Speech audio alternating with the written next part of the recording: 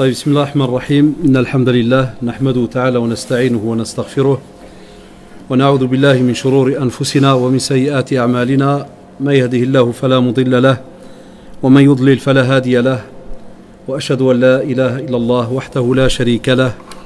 وأشهد أن محمدا عبده ورسوله وبعد. أيها الإخوة والأخوات السلام عليكم ورحمة الله. بارك الله فيكم.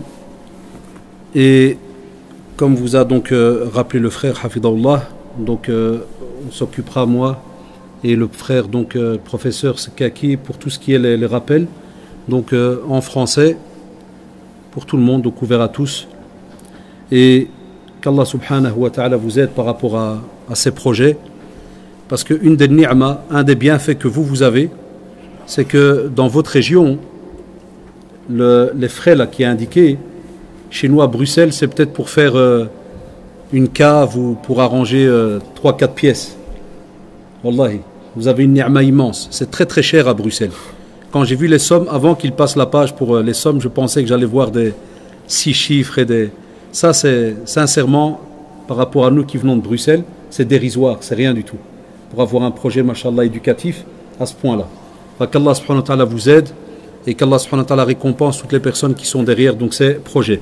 Alors, Ya pour tout ce qui est, Inch'Allah, le dars d'aujourd'hui, à des questions-réponses par rapport aux, euh, aux jeunes, aux siyam, mon but aujourd'hui, Inch'Allah, je l'espère, c'est pas tout simplement venir et vous réciter des questions-réponses. Parce que sinon, c'est facile, vous aurez pu ne pas venir, vous allez sur Internet, vous avez 36 questions et 36 réponses.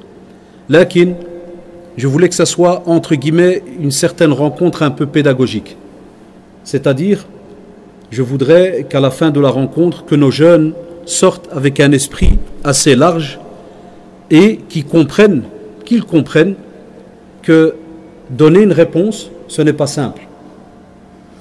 Et qu'ils comprennent aussi pourquoi est-ce qu'il y a plusieurs réponses. Parce que il y a, je crois, 24 heures, j'ai mis dans ma page Facebook un simple rappel sur le sahour. D'accord? Et les sœurs aussi peuvent envoyer leurs questions. Mais vous, verrez, avec toutes les questions que j'ai déjà mis ici, Inch'Allah, il y a une très, très grosse panoplie de questions. Mais s'il y en a que j'ai peut-être pas citées, vous pouvez me les envoyer. Donc les sœurs, les frères, tout le monde. Enfin donc, j'ai à peine mis dans ma page Facebook le sahour et j'ai rappelé dans la sunna, comme l'a dit le prophète sallallahu alayhi wa sallam, au fil hadith, fa sahuri baraka. Enfin, on sait qu'il y a toute une baraka immense hein, dans ce repas hein, que l'on prend juste avant donc la prière de l'aube, que même pas deux minutes après, chacun va commencer à répondre à sa manière par rapport à la question d'une personne. Donc il y a une personne qui a demandé, oui mais c'est à quelle heure? Et à chaque fois, à chaque fois, tous les machaïrs, tous les jeunes, tous des savants que je ne sais pas, moi, tout le monde répond. Il n'y a personne, Wallah, qui met Allahu A'lam, ou bien qui dit demandez au professeur, demandez au machaïrs, demandez à vos imams. demandez- Là, chaque jeune commence à donner un avis. Et ils arrivent même des fois à s'insulter. Et ils arrivent même des fois à rabaisser des avis de savants en disant par exemple à l'un Ton savant c'est qui et d'où il vient? C'est lui qui a la liste des machaïrs de Belgique. Et c'est lui qui a leur diplôme, c'est lui qui a leur connaissance. Et qui sait qui est bon, qui est mauvais? Wallah, c'est une monséba, shabab. Nos parents, pour ceux qui sont décédés, et pour ceux qui sont malades, ils nous ont appris le respect des savants et des imams. Ils nous ont appris le respect parce que c'est qui qui nous a ouvert les yeux, par rapport au Coran c'est nos machaïrs hafidahullah comme si Samadi et bien d'autres et notre cher ici Aoud hafidahullah l'imam Diana hafidahullah c'est eux qui nous ont ouvert les yeux donc nos parents nous ont toujours appris que impossible que tu lèves les yeux. Wallah, il a dit la ilaha illahu. On ne pouvait pas, je suis pas né au Maroc, je suis né ici. On ne pouvait pas lever les yeux sur l'imam. Quand l'imam nous parlait, on baissait la tête. Quand on rencontre l'imam, on lui embrasse la tête, les mains. Et aujourd'hui, Shabab Diana, nos jeunes, ont une facilité incroyable pour insulter, rabaisser et commencer comme ça à parler sur les imams, sur un tel ou. Là, on ne peut pas, c'est interdit. Et spécialement Shabab al-Ulama, comme l'a dit le prophète, ils sont qui? Warathatul Anbiya. ce sont les héritiers des prophètes. Dès qu'un prophète part, ceux qui prennent la place sur terre, c'est qui? C'est les savants. Et qu'on le veuille ou pas, je sais que ça dérange des fois les jeunes. Et même pas que les jeunes, des fois même certains qui ont un certain âge, mais qu'on le veuille ou pas, en Belgique, on n'a pas 36 machaïrs. Wallah, ça se compte sur les doigts. Et vous connaissez les noms. Que ce soit Cheikh Mohamed Toujgani, Hafidahullah, Cheikh Al-Kharraz, Hafidahullah, Cheikh Tahar Toujgani, pour ne citer que ce qu'on appelle les grands chez qui on a étudié, chez qui on a grandi, ils nous connaissent depuis qu'on a l'âge de, 14-15 ans. J'en ai 47. On n'en a pas 36. Tu ne peux pas dire en Belgique qu'on a 50 savants. Et même ceux que je viens de citer, la plupart, ils ont la soixantaine d'années. Ça veut dire qu'ils sont en droit, demain ou après-demain, de retourner au pays, de se dire ah, on va aller se reposer. Alors, ya shabab, billah alikum, même le walidin, billah alikum, qui va prendre la relève شكون هما المشايخ اللي غادي يظهروا هنا في بلجيكا شكون هما فين هما où est-ce qu'ils sont ça on n'y pense pas et c'est pour ça qu'on doit éduquer Rabbi ou Shabab Diana ou Ladna à l'ahtiram l'ulama ou tawqir l'a'imma. On doit leur apprendre obligatoirement à respecter nos savants, nos imams. Il n'y a pas le choix. Parce que va arriver un jour, tous nos machers, jazaumullah, ils vont partir ou ils vont mourir. Comme tout le monde. Il n'y a pas le choix. Ils vont nous quitter. Ou bien ils vont aller s'installer pour se reposer au pays. Qui va prendre la relève? Voilà pourquoi Allah Ya Shabab, gardez, gardez votre lien avec vos imams, gardez ce respect et ne rabaissez aucun imam. C'est très très important. Et vous allez comprendre, subhanallah, hein, même au temps du prophète sallallahu il arrivait que certains compagnons n'étaient pas au courant d'une réponse, n'avaient pas assisté lorsque le prophète sallallahu avait répondu à une question. Et puis le temps va passer. On a même des divergences, subhanallah, par rapport à des verbes. On a des divergences, par rapport à un verbe. Ou en langue arabe, on se demande, on se dit, est-ce que ce verbe, c'est un amr, c'est-à-dire c'est une obligation, mais avec euh, sans discussion, ou bien c'est un amr, l'istihbab. Ça peut arriver que tu aies des fois un verbe à l'impératif, mais ce n'est pas une obligation. Même si tu veux entendre fait, chez les machaïrs, on va te dire, s'il y a moyen de faire, si tu veux gagner des hasanats, et si, et si, et si. Mais tu n'es pas obligé. Et nous, nos jeunes, comme ils ne veulent pas étudier comme il se doit, beaucoup d'entre eux, ils pensent que parce que, en traduisant, il y a un verbe à l'impératif, ils te disent alors non, ça c'est comme ça, c'est obligatoire. Là, pourquoi il y a ces cours très très. Mais c'est immense, c'est des montagnes. Au sol le faire, les racines des lois, c'est immense. Combien de règles? Maqasid sharia, combien de règles? Qu'est-ce que, subhanallah, toutes ces lois qui y a en face de vous, Qu'est-ce qu'Allah a voulu nous passer comme message? Qu'est-ce qu'il voudrait qu'on mette en pratique? Tout ça, c'est des cours immenses qui, même moi qui vous parle, même si je suis dans la da'wah depuis plus de 30 ans, et wallah, il y a des cours, j'ose pas mettre les pieds dedans. Même si je les ai eus, mais j'ose pas en parler dans les doros. Que si jamais il y a un courant privé avec les jeunes. Parce que c'est lourd. Ça demande des années de travail. Des fois, les jeunes, directement, ils donnent un avis. Ah oui, j'ai lu dans un hadith, c'est écrit, euh, il y a un verbe à l'impératif. Tu dois. Non, tu dois quoi?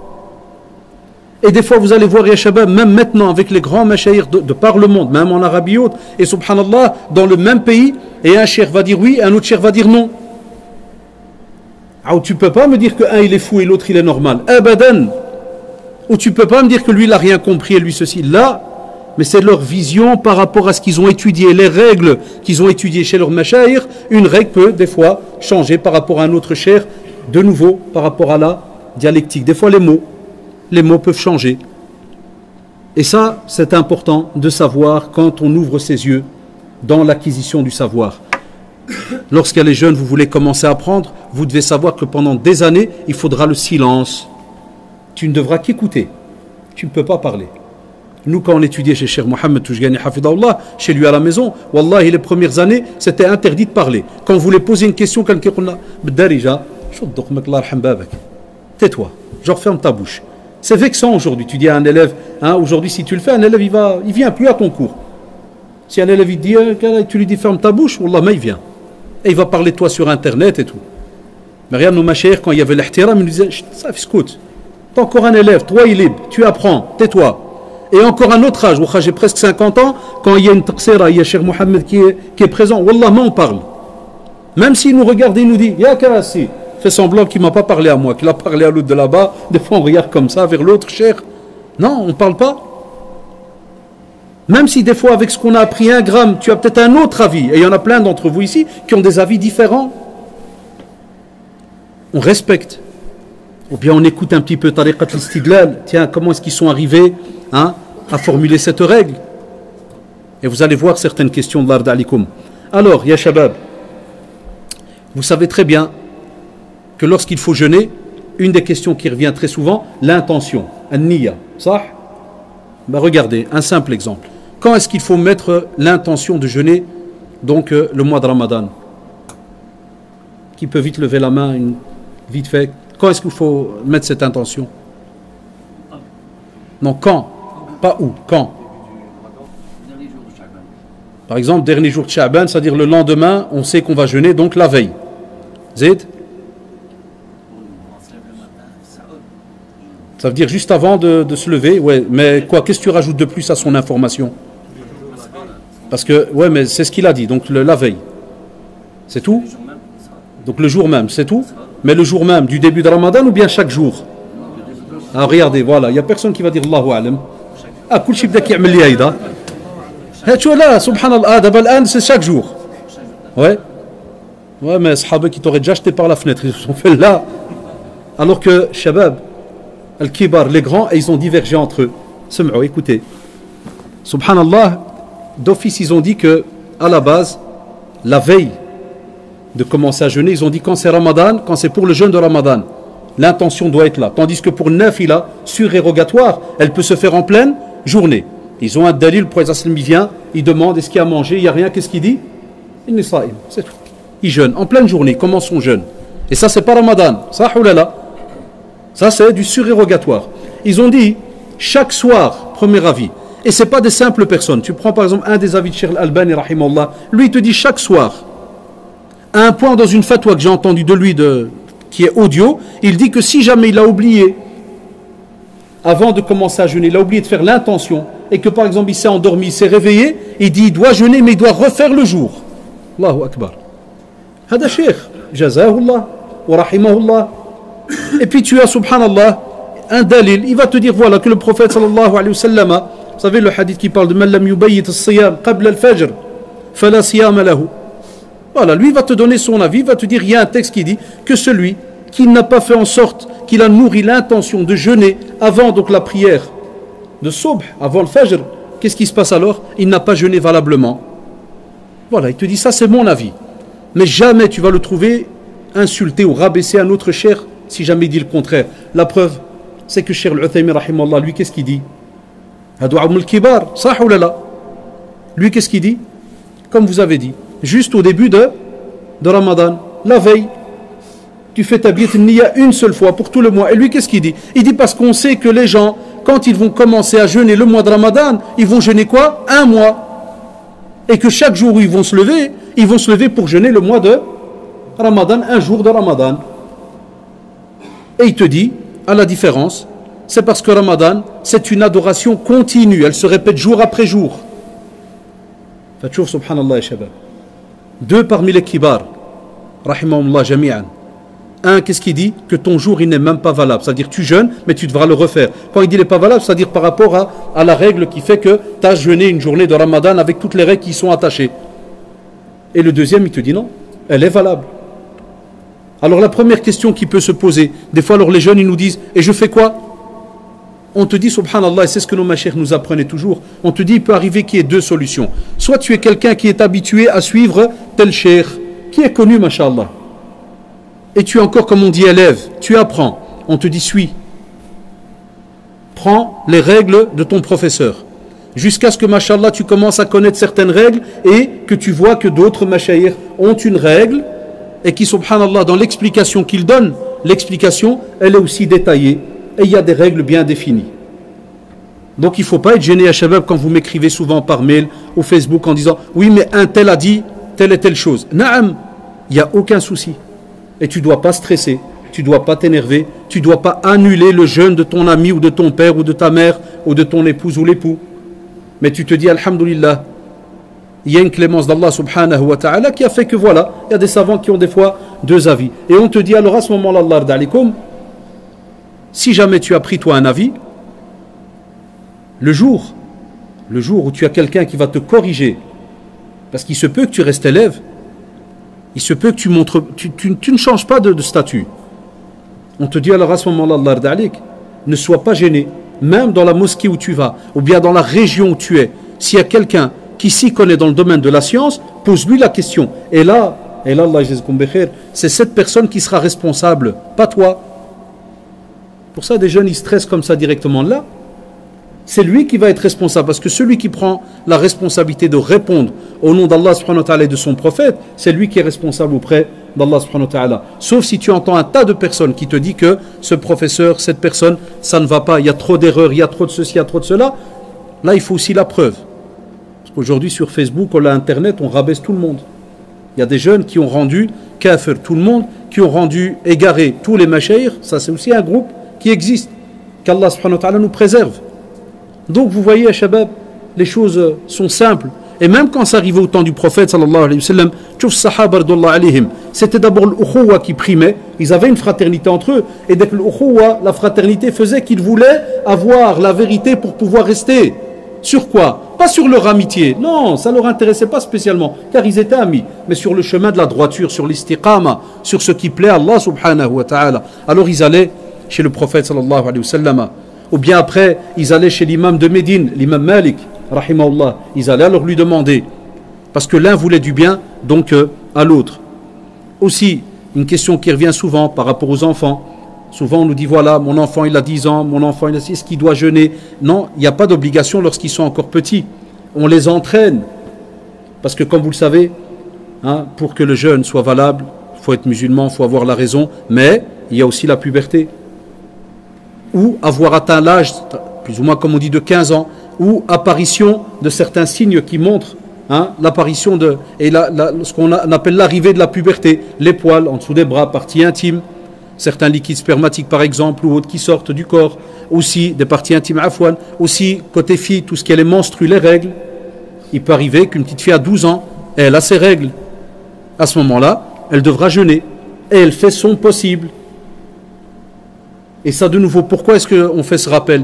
Parce qu'aujourd'hui, vous avez remarqué, certains, ça arrive, des fois, journalistes, autres, ils, ils aiment bien comme savoir certains sujets qui, des fois, montrent un peu l'ignorance de certains de, chez nous, parce qu'on n'étudie pas les choses comme il se doit. Alors ils viennent embêter des fois dans certains quartiers pour poser des questions, et des fois j'écoute des émissions, là j'ai mal au cœur, on voit des gens qui commencent à répondre. Et il m'est déjà arrivé d'entendre, le journaliste il demande, il dit, c'est quand que, c'est obligé de, quand de, jeûner? Ouais, le, bah, quand on musulman, il faut jeûner. Non, non, c'est pas une réponse.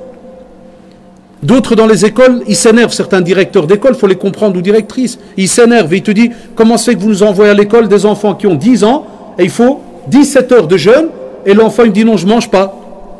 Et des parents, je travaille dans une école, hein, et des parents qui viennent et qui se fâchent, disent non, le jeûne c'est obligatoire, il doit jeûner. Et l'enfant, Wallah, si tu le tiens pas par l'épaule, il tombe. 10 ans. Primaire.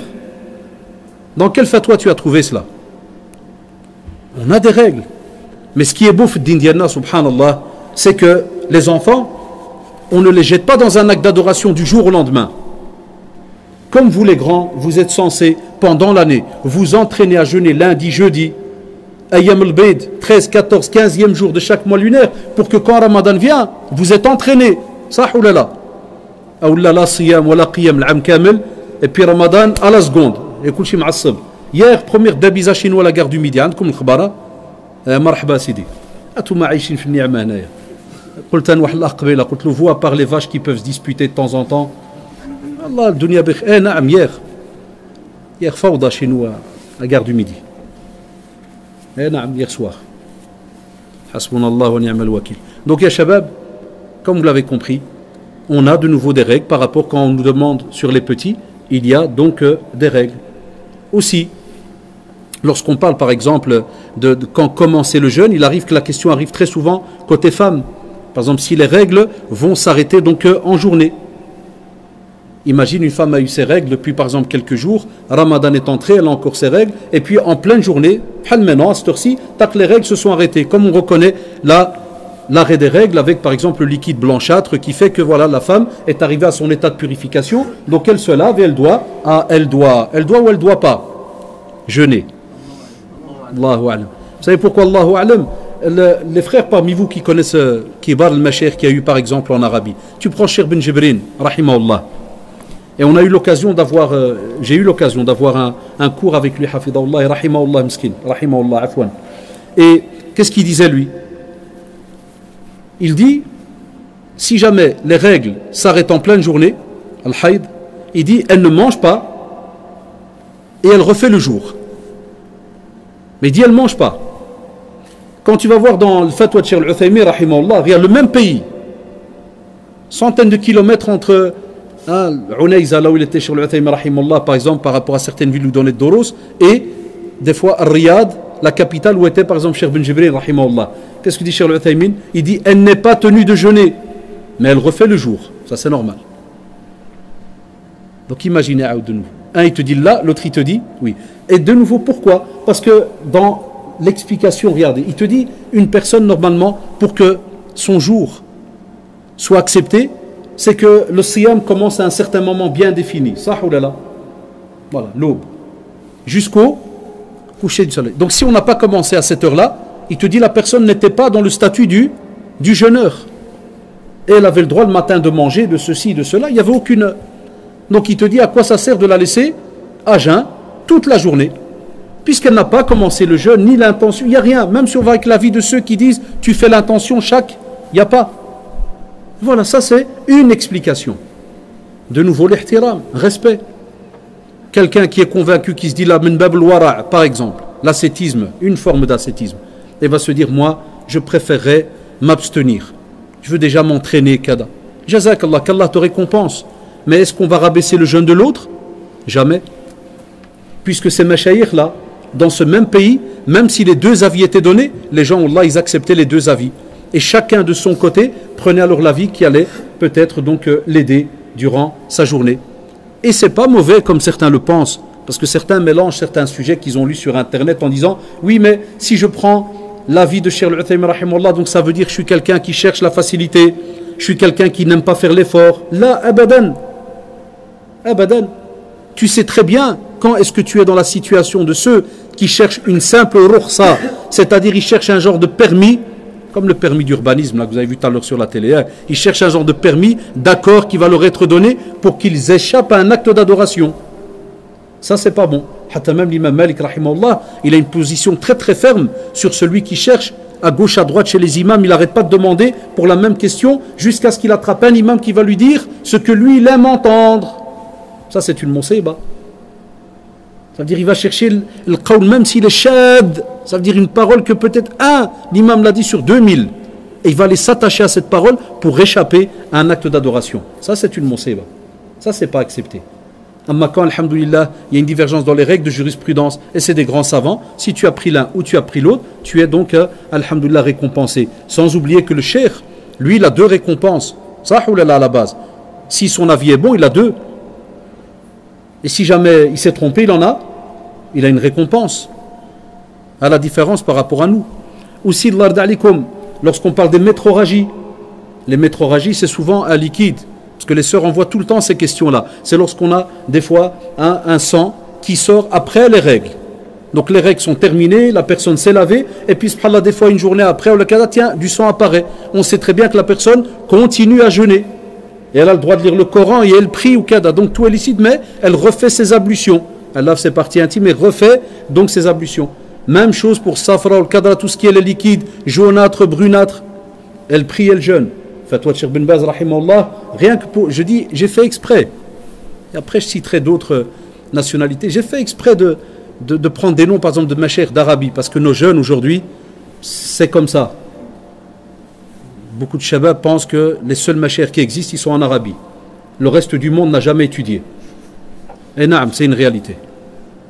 La preuve, si tu dis, il y a une fatwa de, de Cheikh Boukhbza, déjà il va croire que c'est une blague. Déjà même le nom, il va croire que c'est une blague.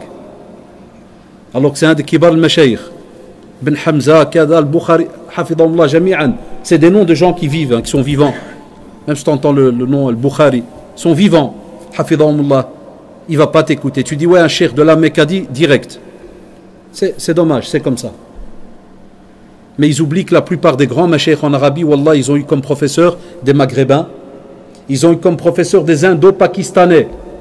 Vous êtes au courant, parmi les grands machers dans le monde, c'est les Indo-Pakistanais, subhanallah, qui ont donné cours à des grands machers en Arabie.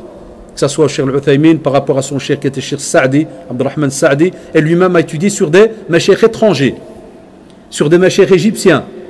Autant, comme vous le savez, où l'Azhar était ce qu'on appelle l'Azhar. Période, l'apogée dans le domaine de la science.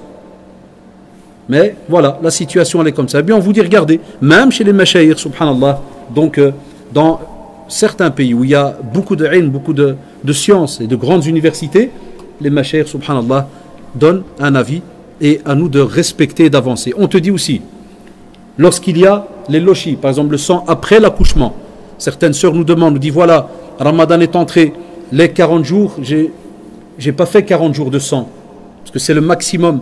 Mais il est arrivé que maintenant je suis à peine à 30, il n'y a plus de sang. Eh bien la femme se lave et elle prie et elle jeûne et ce qu'elle n'a pas jeûné, elle le remettra donc euh, plus tard. Et les savants, ils ont aussi, dans le Da'ima, ils ont dit par exemple, lorsque la femme va presque accoucher, et on va dire que pour sa santé, on va en parler après, il n'y avait pas de souci, elle jeûnait, mais va apparaître ce qu'on appelle le premier sang qui, juste après, va commencer un accouchement, par exemple. Ils ont dit à ce moment-là, si ce sang est le sang de l'accouchement. Donc ça, c'est les médecins à l'hôpital qui le disent et que c'est un sang qui est rougeâtre, elle arrête à ce moment-là le jeûne et là, la prière. C'est un avis de nouveau qui est là. Parce qu'on a des sœurs, qu'Allah les aide, elles vont accoucher sûrement pendant le mois de Ramadan. Ça, certains de nos, de nos mères, de nos, de nos épouses. Eh bien, les maris et même les sœurs doivent être au courant de ces règles-là et de ne pas continuer à se torturer, à jeûner, alors que dans le fait, dans la jurisprudence, elle doit à ce moment-là rompre son jeûne un autre chapitre qui est donc tout ce qui est en rapport avec l'imsak. Ah, l'imsak. Combien s'insultent Tu trouves par exemple une, une mosquée, vous savez que l'imsak, shabab, certains savants, en résumé, ils ont dit par exemple, si la prière de Sobh est à 3h30, certains savants ils disent voilà, et on le voit sur les horaires de prière, on arrête par exemple un quart d'heure avant.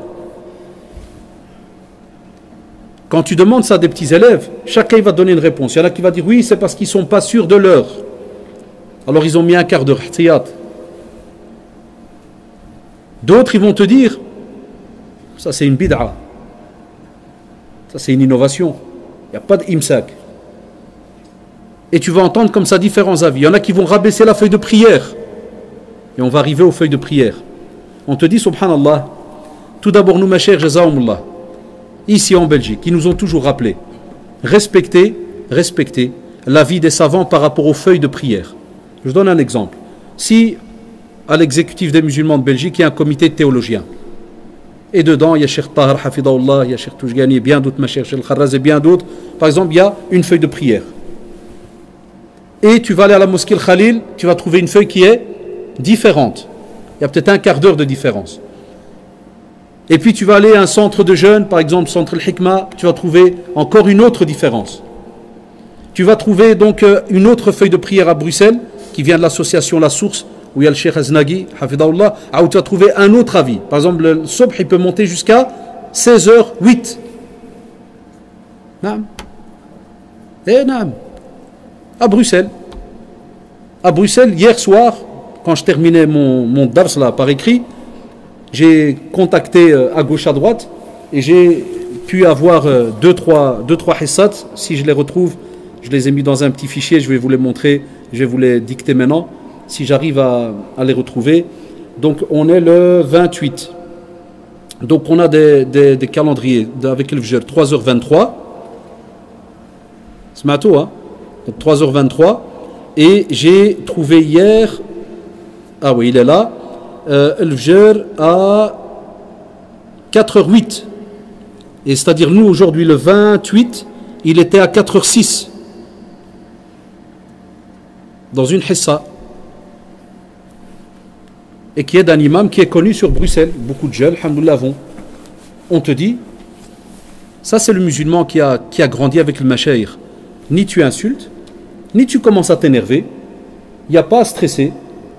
Nos machaïrs, ils répétaient tout le temps, même chez Abdelaziz Lehya qui était l'ancien directeur du centre avec qui j'ai travaillé une dizaine d'années, sur le minbar, chaque année, il disait Ya Shabab, Ya Ikhwan, Ya Khawat, respectez les avis quand c'est des savants qui sont connus. Et il disait deuxièmement, et c'est ce que Cheikh Toujgani aussi Hafidahullah répétait, il disait deuxièmement, vous êtes habitués toute l'année à suivre une hissa avec vos frères et sœurs ici à la mosquée. Ça. Il te dit continue sur ta hissa. Continue sur ta feuille de prière. Et venez pas, vous, les, frères et sœurs, par exemple, de Farsienne, dire Ouais, mais à Bruxelles, j'ai vu une hissa de 4h08. J'ai vu une hissa de 4h08. Et pourquoi tu fais pas la remarque il y a un mois en disant que j'ai vu une hissa de 4h06 Ça, c'est parce que tu priais le à 6h. Hein? Tu le retardais, tu venais pas à la mosquée le prier. C'est juste ou pas? Mais si tu venais tout le temps prier à la mosquée, tu connais la prière de Sobh il n'y a aucun souci. Et à tout casser, la mosquée, elle rajoute souvent un quart d'heure, 20 minutes pour que les gens viennent. Donc regardez, Jazaumullah nos chers, comment il te dit parce que tout est basé des fois sur certains calculs. Et voilà. Et des fois, ce que tu peux voir à l'œil nu, on n'est pas sûr que ce soit vraiment les lueurs du sobh. Ça arrive. Il y a plus ou moins 7, 8, 4, non, quasi presque 10 ans, et je crois que je vous l'avais dit si l'année passée, quand on m'avait une fois posé la question, j'avais assisté à un colloque en privé au centre islamique avec Dr Al-Hawari, rahimahullah Toufa, celui-là qui avait lancé les premières feuilles de prière en Belgique. Il est d'Allemagne, du centre islamique de Aachen. Rahimahullah. Et il y avait des machères qui étaient venus d'Arabie Saoudite, il y avait de Dubaï, tous des spécialistes dans le falak, des astrophysiciens. Et subhanallah, donc c'était privé, les gens ne pouvaient pas assister. C'était juste. Euh, et comme nous on travaillait au centre et on est des douat, ils nous ont dit vous pouvez assister. Wallah, c'était beau. Alors pourquoi c'était beau, Shabab Il n'y avait aucun qui avait le même avis. Mais un respect, l'ihtiram incroyable. Quand Cheikh Toujgani prenait la parole, Wallah, les machers qui venaient d'Arabie, l'autre il se donne, l'autre jazakumullah. Et à la fin, ils sont sortis sur le fait, entre guillemets, de respecter. Ils ont soulevé un point. Qu'est-ce qu'ils ont dit? Ils ont dit, c'est vrai, tous, qu'il y a un problème avec les fameuses montres. Vous voyez le Fajr et autres. Ils ont dit, c'est vrai, avec les montres électroniques à la maison. Ils ont dit que nous, les pays du Nord, quand on arrive comme ça dans la période du mois de mai, juin, que l'alam a le signe qui fait qu'on reconnaît la prière de l'Isha et aussi le Fajr, elle n'apparaît plus. On ne sait plus la distinguer, on ne sait plus la calculer entre guillemets. Donc voilà pourquoi vous avez entendu les fameux avis. Certains prient l'Isha une heure et demie après le Maghreb. là. Ça, c'est des avis de Machaïr. Mais la plupart, il te dit, si tu étais habitué à suivre ta feuille de prière, ton calendrier, dans la mosquée où tu es, continue à suivre ton calendrier. Et n'annule pas la prière de quelqu'un d'autre. Aussi, on a des jeunes, et l'année passée, on a eu presque une dabiza dans une mosquée à Bruxelles. Alash. On a un hadith rapporté par l'imam Abu Daoud et Al-Hakim, ou Abu Huraira radiallahu anhu, il dit que le prophète sallallahu alayhi wa sallam a dit lorsque l'un d'entre vous entend l'adhan et qu'il a encore un récipient dans sa main, qu'il ne le pose pas avant d'avoir fini son contenu. Et il en est déduit dans les fatawa et dans les rappels, dans les textes, que si jamais l'adhan est avec quelque chose en bouche, tu as le droit de continuer à le mâcher et de le de, de l'avaler. C'est un avis chez les machaïrs.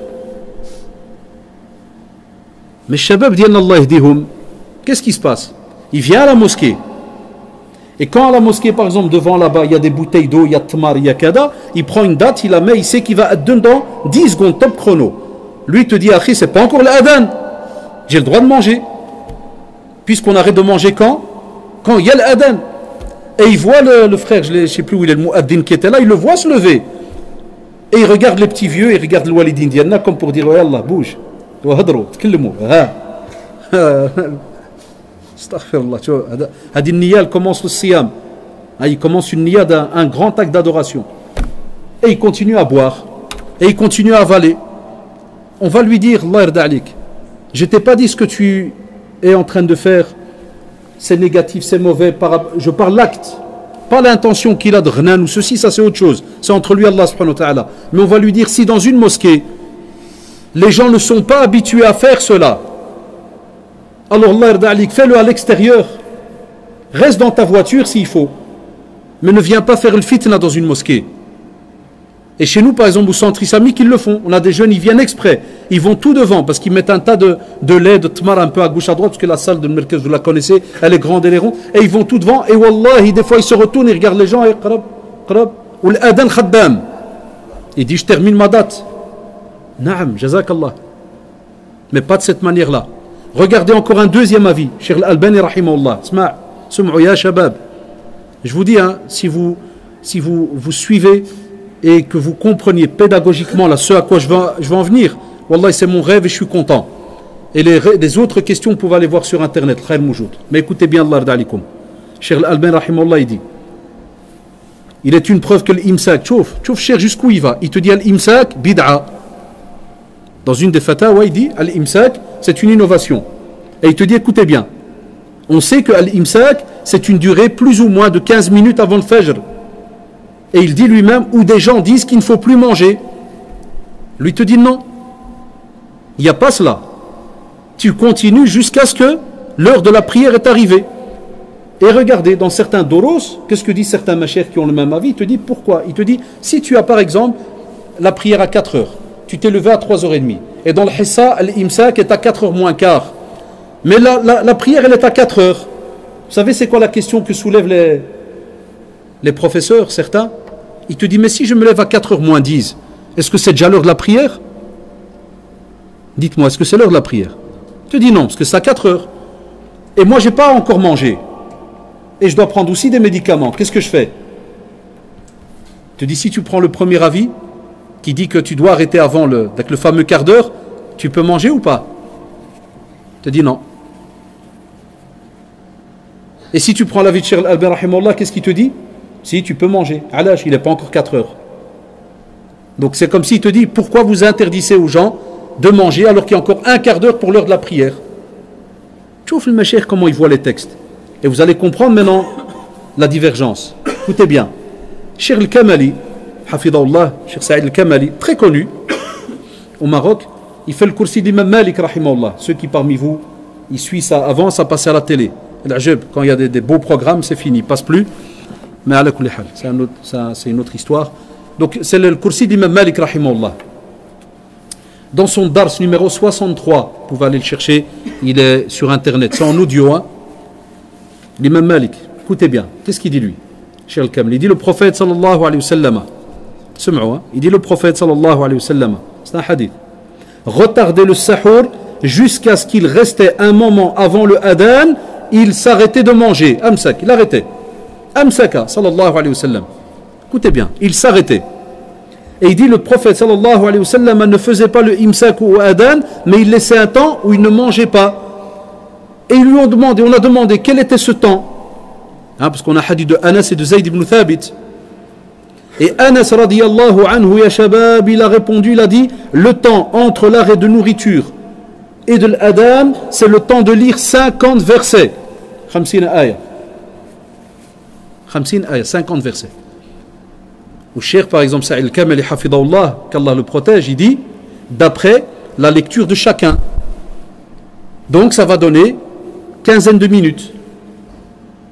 Il dit, aujourd'hui, lui, dans son dars, il dit, aujourd'hui, ça peut donner 20 minutes chez certains savants, et il rapporte comme un grand savant très connu, qui s'appelait donc Abu Zayd, Sidi Abdurrahman ibn Abdul Qadr al-Fasi. C'est lui qui rapporte la narration, Cheikh Sa'il Kamali Hafidahullah. Il dit, voilà, ça donne plus ou moins aujourd'hui 20 minutes. Alors de nouveau, ya Shabab, deux avis ou pas deux avis? Mais quand tu as étudié, quand tu as, subhanallah, un respect, tu t'arrêtes devant ces deux avis et tu te dis, regardez, tu te dis très simplement, est-ce que, est-ce que j'ai vraiment besoin de manger jusqu'à moins 10 Ça c'est, si jamais tu as un petit, un petit ousouas là qui vient, ou là, est-ce que je suis Tiens, j'ai envie, machallah, moi tout va bien. J'ai déjà mangé à 3h30, tout va bien. Stop, arrête. Barakallahu fik. Mais ne rabaisse pas ton père ou ta mère ou tes frères et sœurs ou ton épouse ou l'époux si jamais, à moins il va les manger. Et ça, Wallahi, chaque année, il y a des disputes dans les maisons. Tu as des fois le mari, il arrête à 3h30, la femme, elle arrête à 4h moins quart, et le fils qui devient un nouveau petit, mashallah, sunni d'avant-hier, il arrête à moins 5, et. Et il s'assied à la table devant son père, ça va Walid, Kivnta. Tu, hein, tu commences déjà à sentir le, le joie, c'est un quart d'heure que tu as arrêté. C'est un père qui me raconte ça à la mosquée. Il me dit que chaque matin il vient m'allumer, qui dit chalni. Ah, shabab, shabab, on est passé par là, la, jeunesse. C'est que le mahabba de sunna, de din, kada, mais c'est une mahabba des fois ben qawsain ma'ouja. Pourquoi on dit est un peu tordu, entre guillemets? Parce qu'on n'a pas étudié. Et tu sais même pas si toi, en rigolant de ton père, ton père il a peut-être plus de hasanat que toi, même si toi tu étais peut-être dans le juste en rigolant ou en rabaissant quelqu'un dans ta famille. Et on voudrait, on voudrait que les jeunes de demain, et le walidin, ils doivent travailler en ce sens. On voudrait que nos jeunes, ils aient de l'esprit, Adam ouvert pour aller apprendre et pas tout simplement copier-coller d'Internet. Il faut aller apprendre pour que vous compreniez mieux le sujet, pour qu'on n'ait pas, et c'est la vérité, pour qu'on n'ait pas tout un, groupe qui est vraiment dans l'extrême. J'aime pas les mots avec ist. J'aime pas, c'est pas de mon vocabulaire. Je dirais jamais moi d'un frère extrémiste ou ceci ou cela. Là, je dirais voilà, peut-être qu'il est dans l'exagération, peut-être kada, mais je rentre pas dans le jeu. Mais je resterai pédagogue avec lui en disant T'inquiète, tu as 18 ans. Inch'Allah, quand tu auras 45, tu comprendras mieux. Mais je ne le lâche pas, je continue à lui parler. Parce que va arriver un jour, comme je l'ai dit dans l'introduction, on n'aura pas de professeur pour nous expliquer tout cela à nos enfants. Parce que la plupart de nos jeunes ne veulent pas aller s'asseoir pendant des années pour étudier. On le voit à Bruxelles. Ils viennent à l'institut pour apprendre soi-disant la religion, ils s'inscrivent, ils sont 60 en septembre, Wallahi en décembre il n'y en a plus que 10. Et en juin, il n'y a que le professeur avec deux élèves. Ils ne veulent pas étudier nos jeunes. Je parle des ados, les grands maintenant, ils ne veulent pas. Mais qui se brochent. Mais dès qu'il y a une munakasha, tout le monde est savant. C'est ça qui est dangereux. Aussi, euh, question qui revient très souvent. Est-ce qu'on peut se laver pendant le mois de Ramadan en journée pour se rafraîchir? Naam. Et on a un hadith du prophète sallallahu où il versait de l'eau sur sa tête alors qu'il jeûnait à cause de la soif ou de la chaleur. On demande aussi est-ce qu'on a le droit de se rincer la bouche ainsi que d'inspirer l'eau par les narines? On te dit Naam, le prophète sallallahu alayhi wa sallam avait demandé d'insister sur le fait quand on, a, on inspire l'eau, mais qu'est-ce qu'il a dit? Il a dit sauf lorsque tu es en état de, de jeûne. L'istinshaq. On la l'istinshaq. Lakin, quand tu es à jeûne, quand tu es saïm, là tu fais attention. Dès que tu sens que l'eau est montée dans tes narines, ça fait parce que s'il descend, tu es responsable de ta journée, tu dois la refaire. Que tu as provoqué. On te dit aussi, sauf si c'est par accident. Ah, tu as fait ton possible de surveiller, mais par accident, ils disent alors, le Machir là dans les fatawa, il dit ça n'annule pas le jeûne. Mais celui qui sait, qui doit faire attention, mais il provoque et il le fait exprès, ça, il sait qu'il doit refaire son jour. Aussi, al-hijama, on entend beaucoup de choses sur la saignée. C'est quand on va chez le fameux médecin, on met les petites boules sur la tête, sur le dos, ça dépend de certains endroits du corps. Eh bien, on a des avis où ça part du fait que celui qui l'a fait et celui qui fait la hijama, ça annule leur jeûne, jusqu'à l'avis de celui qui dit que ça n'annule pas donc euh, le jeûne. Ah. Et ce sont des fatwas qui existent. Donc on te dit, des fois, si tu veux sortir, entre guillemets, de la polémique, par exemple, tu te sens mal à l'aise, on va dire, est-ce que c'est obligé pour toi absolument que tu la fasses maintenant? Est-ce qu'il y a moyen de la faire le soir? Si c'est trop tard, il n'y a pas moyen de la faire en dehors de Ramadan? Et si jamais il n'y a pas le choix, tu dois la faire à cause d'une certaine maladie que tu as et tu as le droit de jeûner, Aoud les Machers te disent qu'il y a la vie qui dit tu peux le faire. Et ça ne doit pas être de nouveau une, une dispute ou autre. On te dit aussi,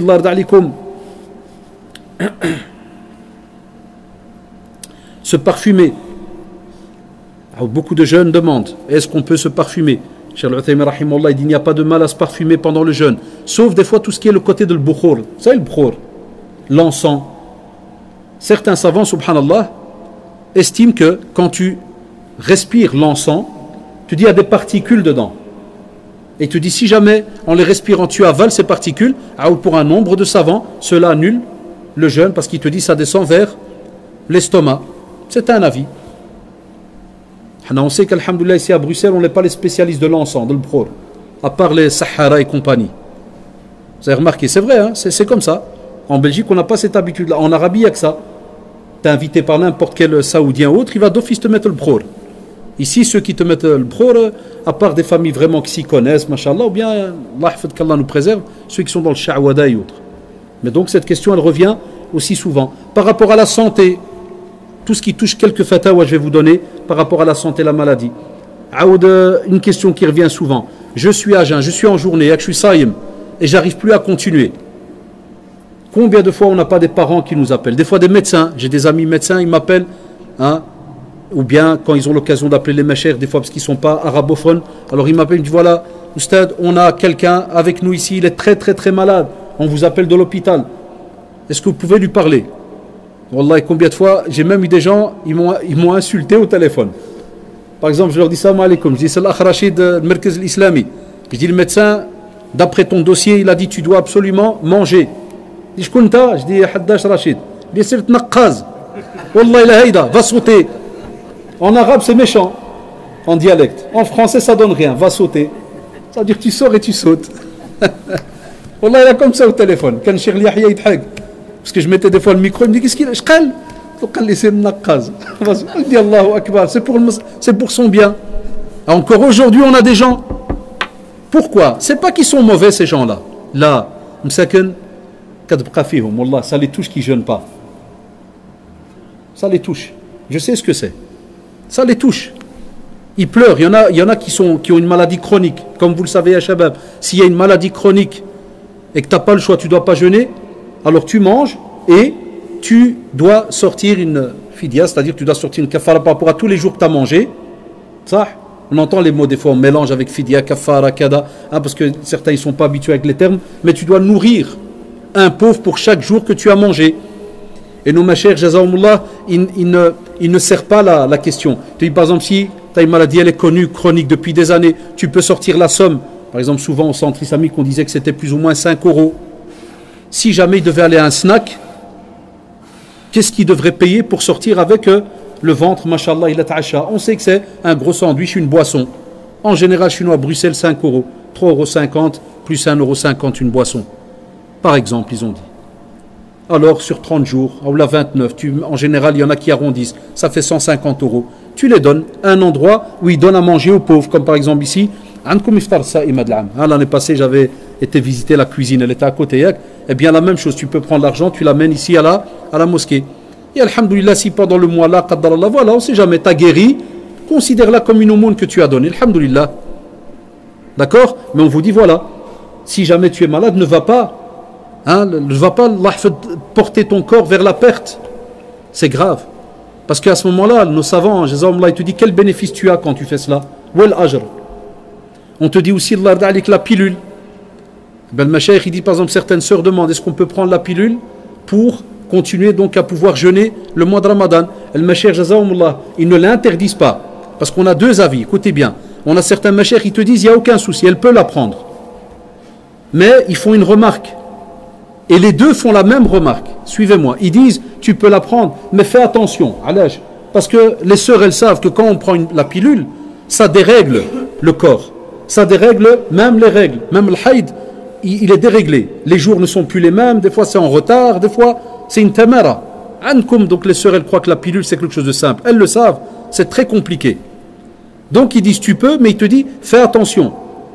Demande au médecin, prends un conseil. Et ils vont, ils font une autre branche. Qu'est-ce qu'ils disent?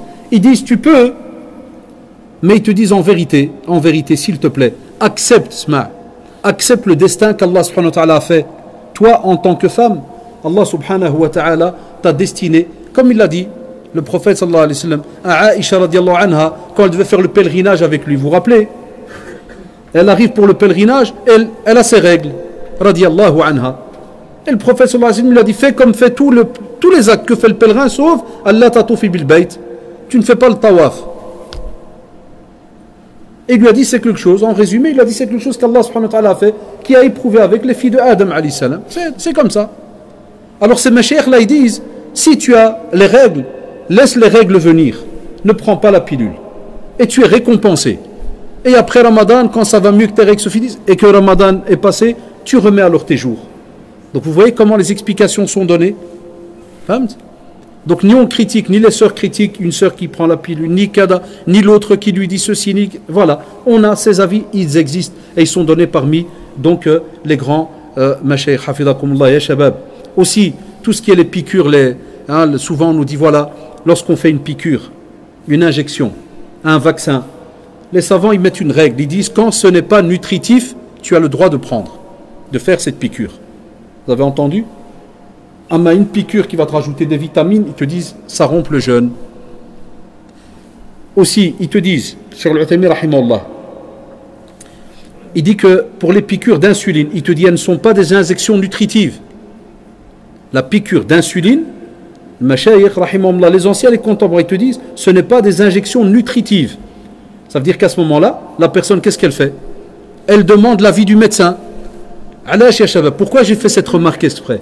Parce qu'on a certains jeunes, écoutez-moi bien, qui vont aller dire à leur père ou à leur mère ou à un proche Oui, j'ai lu dans une fatwa, le cheikh il a dit Tu peux jeûner parce que la piqûre d'insuline, c'est pas comme de la nourriture. On sait qu'elle va régler l'insuline, pancréas, kadaouyak. Mais les savants, qu'est-ce qu'ils disent Est-ce que toute personne qui a le diabète, est-ce que c'est le même diabète qu'un autre? Vous savez bien qu'il y a des types de diabète.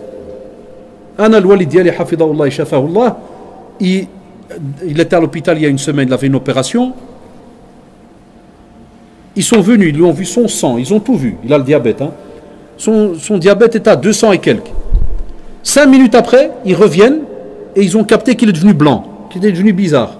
Lui, il n'a même pas remarqué à la seconde. Il croyait qu'il était juste fatigué. C'est l'opération. Le diabète est descendu presque à 4. Il y en a, qui descendent à 20 en, 30 secondes. Et nous, on a des jeunes, euh, à l'école, hein, j'ai des élèves qui ont le diabète. Et j'entends des jeunes des mouftis de Qaria du village, dans la cour. Et je l'entends, dire aux copains Ouais, non, non, tu peux jeûner, sais, l'insuline, ça l'aise. Hein. J'ai lu dans fatwa.com, j'invente hein, le, nom là, fatwa, parce qu'il y a un vrai site qui s'appelle comme ça. Mais je l'entends lui donne des noms de sites. Ouais, j'ai lu dans le truc d'internet.com, euh, euh, tu peux. Mais, les savants disent stop. Demande à ton médecin par rapport au type d'insuline que tu as. Pourquoi? Parce qu'on a certains diabètes, tu es obligé de boire et de manger en journée. Sinon, Wallah, tu peux tomber dans le coma. Un Al-Walid, parce que je ne connaissais pas le diabète, il l'a à peine depuis quelques années. Al-Walid, il sort de la maison, il va pour prier.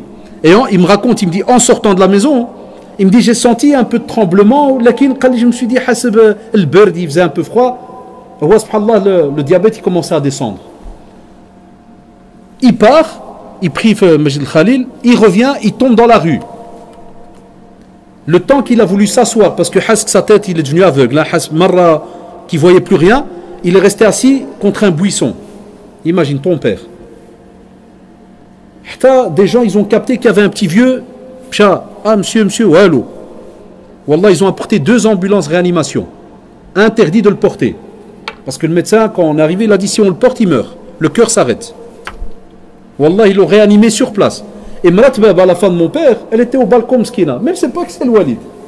Katchouf, une pauvre de Pareil, un vieux, ils l'ont mis dans la camionnette. Ah, d'une africaine, mskina, elle est venue, elle a dit Madame, madame, ton mari, dans la camionnette là. Ah, et j'ai fait la remarque à Walid. Je dis à Walid, tu connais ta maladie. Toujours en poche du sucre. Ça, là. Toujours en poche quelque chose. Parce qu'il y a des maladies, tu... Et nous, les jeunes, ils répondent entre eux vite fait. Ouais, tu peux, c'est bon. Cheikh, il a dit. Oh, il connaît le dossier de ton père? C'est le médecin de ton père? Et il faut faire attention. Aussi, Allah d'alikum. La ilaha illallah. Et pour le hijama, si quelqu'un demande, c'est une fatwa de Cheikh Louhaïdan, parmi les kibars en Arabie et autres. Ça, c'est au cas où quelqu'un se dirait Ah ouais, mais qu'est-ce qu'il raconte? Parce que moi j'ai lu euh, hijama kada. Naam, le kibar, Cheikh dit même, j'ai traduit donc sa fatwa en français. En résumé, elle dit Ça n'annule pas le jeûne selon l'avis le plus correct. Ça sous-entend quoi? Quand il y a cette phrase sur internet, ça sous-entend quoi? Qu'il y a d'autres avis qui disent le, le contraire. Mais il te dit qu'on prend tous les avis, eh bien le plus correct, ça serait de pouvoir et que c'est accepté donc de le faire. Et quand ils lui ont dit, écoutez-moi bien, parce qu'il y a un khilaf, c'est pourquoi? Parce que quand le hadith là, écoutez bien, c'est important. Quand tu as un hadith qui te dit que celui qui fait le hijama et celui sur lequel on a fait le hijama, les deux ont rompu leur jeûne. Et ils te disent que le hadith, il est là, il est authentique. Vous savez ce qu'ils ont dit certains mashayir Ils te disent ça, c'était au début. Regarde. Regarde la réponse, très rapide. Ça, c'était peut-être au début. Bidayat al-amr, au début, pour la hijama, voilà la règle. Mais ils disent que le fait que par après cela a changé et que certains ont témoigné qu'ils ont vu que ça s'est fait, que personne n'a annulé, ils ont dit c'est que la règle a, a changé. Ça arrive. Et ça ne veut pas dire qu'il y a un problème dans notre religion, dans nos textes, comme certaines sectes, ils aiment bien attaquer après. Tu dis, ah, on vous a dit, hein, dans votre Bukhari, il y a des problèmes hein, dans son livre. Vous savez de quoi je parle, Non. Jamais quelqu'un ne doit avoir un doute sur ce qu'on appelle un des livres les plus authentiques après le Coran. Sahih al-Bukhari, ya shabab. Sah ou là Faites attention par rapport à cela. Les analyses de sang, question qui revient très souvent. Il dit cela n'annule pas le jeûne. Tu peux aller faire ta prise de sang. Car la personne est dans, elle est dans le besoin. Il n'y a personne qui va faire comme ça une prise de sang rien que pour s'amuser. Ça là Tu dis la personne est dans le besoin, ça ne fait pas partie des points qui annulent le jeûne. Mais certains machaïrs, ils ont rajouté une virgule. Ils ont dit que si jamais la prise de sang, elle est trop conséquente, à un point où la personne perd connaissance et que le corps il est trop affaibli, ils ont dit alors elle doit refaire ça, sa journée. Mais on sait que nous en Belgique c'est très rare. Ça, on est habitué à faire les prises de sang, quelques petites bouteilles en général. Mais il peut arriver que ce cas donc euh, arrive.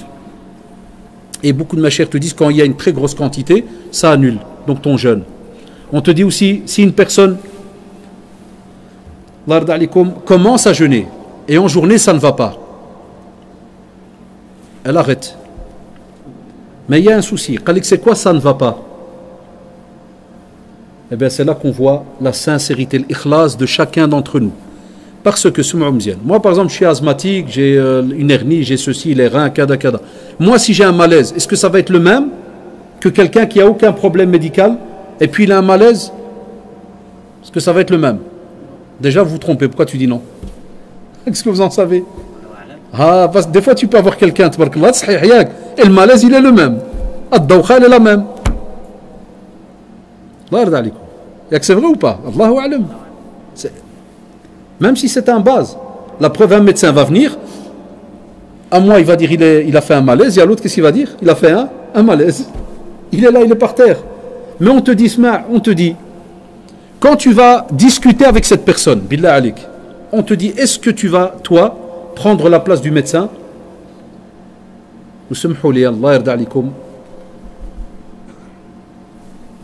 Nous, peut-être notre race à nous, on est très comme ça. Vous avez remarqué dans nos familles, tout le monde est médecin, tout le monde est politologue, tout le monde est scientifique, généticien, polit muhim. tu es. Faites une toxéra en famille, tu peux sortir n'importe quel dossier, tu es un spécialiste. Comme ça, ça réveille certains. Je crois que je vous l'avais raconté ici ou pas, je pense pas. Peut-être je vous l'avais dit il y, a, quelques années, quand on a des transporteurs, camionnettes, où j'avais des amis dans le quartier je voulais juste leur donner un petit dars. Parce que chaque fois, je les entendais des fois de la fenêtre, ils donnent des fatwas entre eux. Non, non, c'est haram, non, c'est halal, wa kada, Je dis comment je vais? J'ai démarré la, la voiture, le capot. Je regarde le moteur. J'ai rien dit. Le premier, il passe, il me regarde, il me fait Qu'est-ce qui se passe Puis je lui dis Écoute, écoute. Puis il me fait Oh, il me dit Joint de culasse. Wallah, sma, wallah, shabab. Il me dit Joint de culasse. اقتلوا سبحان الله قال لي واه ابيري 400 euros frère hein, كذا لا لا لا ouais je dis ouais دعي معنا on verra et je reste là puis je vois un autre il me fait quoi je dis il vient qu'est-ce qui se passe je dis mais il est foutu le moteur j'en ai fait comme ça 4 ou 5 il m'a donné une fatwa.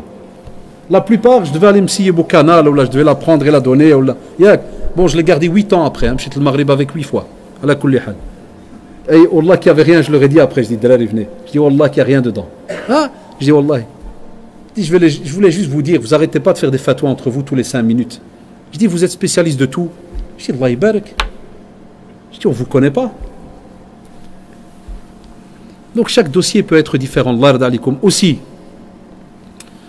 Euh, la question qui vient très souvent, la femme enceinte, qu'est-ce qu'elle doit faire C'est bien. Allah يحفظكم والله لا فرحتوني وهي تسكت الله أكبر bah, on, a, on a minimum deux avis. D'abord, on a une erreur. C'est que beaucoup de gens, dès que tu dis enceinte, te disent non, non, elle ne peut pas jeûner. Qui te l'a dit Chaque dossier est différent. Et j'ai des amis médecins avec qui je discute. Deuxièmement, écoutez bien, les futurs parents.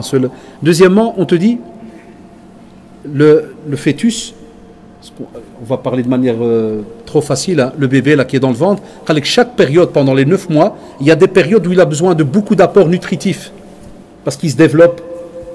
Il y a des périodes où c'est les muscles, ceci, cela, il se développe. subhanallah, ces périodes-là, il doit y avoir un apport nutritif. Et certains médecins musulmans que je connais, avec qui je discute par rapport à cette question, ils me disent, il peut arriver qu'avec 17 heures de jeûne, une femme par rapport à une autre, elle ne va pas tenir. Et ça va même être dangereux pour son bébé. Voilà pourquoi on dit demandez conseil à votre gynécologue. Et là où ça se complique, et des fois certains, certains non musulmans, certains non musulmans, ils ne nous comprennent pas quand on dit des fois de demander un avis à un médecin musulman. Wallah, ils croient que nous on rejette les médecins qui ne sont pas musulmans. Hachalillah, jamais. C'est juste pour dire quoi? Comme sallallahu alaykum, quand vous allez des fois à un hôpital, qu'on apprenne à parler, qu'on ne dise pas des phrases où on va blesser quelqu'un. Quand on dit on aurait besoin d'un avis d'un médecin musulman, parce que le non-musulman, lui, ne connaît pas c'est quoi, entre guillemets, l'importance auprès d'Allah de Ramadan. Il est peut-être athée. Pour lui, Dieu, c'est rien du tout, ça n'existe même pas. Pour lui, quand tu dis je fais Ramadan, c'est comme si tu qassab, tu fais un régime. Donc qu'est-ce qu'il va te dire? Mais non, il ne faut pas jeûner. Vous avez un ventre et tout. Repos. Mais comme le musulman, il sait c'est quoi l'importance du jeûne et qu'on ne joue pas avec le jeûne, c'est rukn min arkan l'islam, celui de fait qui renie le jeûne. Il est même dans le chapitre de l'kufr, dans la mécréance. Donc il voit l'importance de cet acte. Voilà pourquoi on demande d'avoir un avis. Et alors là, on te dit que si le médecin te dit, par rapport à la période dans laquelle vous êtes, ou bien par rapport à votre dossier médical, vous ne pouvez pas jeûner, c'est le médecin qui est responsable à ce moment-là et la personne a le droit de manger. Maintenant, il y a une autre réponse à ce qu'on vient de dire. Les savants, qu'est-ce qu'ils ont dit? Tel faux. Ils ont dit, si jamais la femme qui est enceinte, elle a mangé, après Ramadan, donc elle a accouché et tout, elle, doit remettre les jours. Comment est-ce qu'elle remet? Comment est-ce qu'elle remet? A certains me regardent, ils me font. ah, c'est vrai. Qu'est-ce qu'ils ont dit? Ils ont dit deux avis. Ils ont dit, subhanallah, shabab, on a un premier avis sur l'Albani, rahimahullah, et remonte jusqu'à Ibn Abbas, radiallahu anhu. Qu'est-ce qu'il dit? Il te dit que elle nourrit pour chaque jour qu'elle a mangé. Donc quand vous allez voir dans les fatwas de Al-Albani, rahimahullah, lui il dit pour la femme qui était enceinte et qui a eu peur, qui a eu peur pour son bébé, et qui a mangé pendant Ramadan. Il te dit quand elle va remettre, elle ne paye pas, elle ne nourrit pas un pauvre.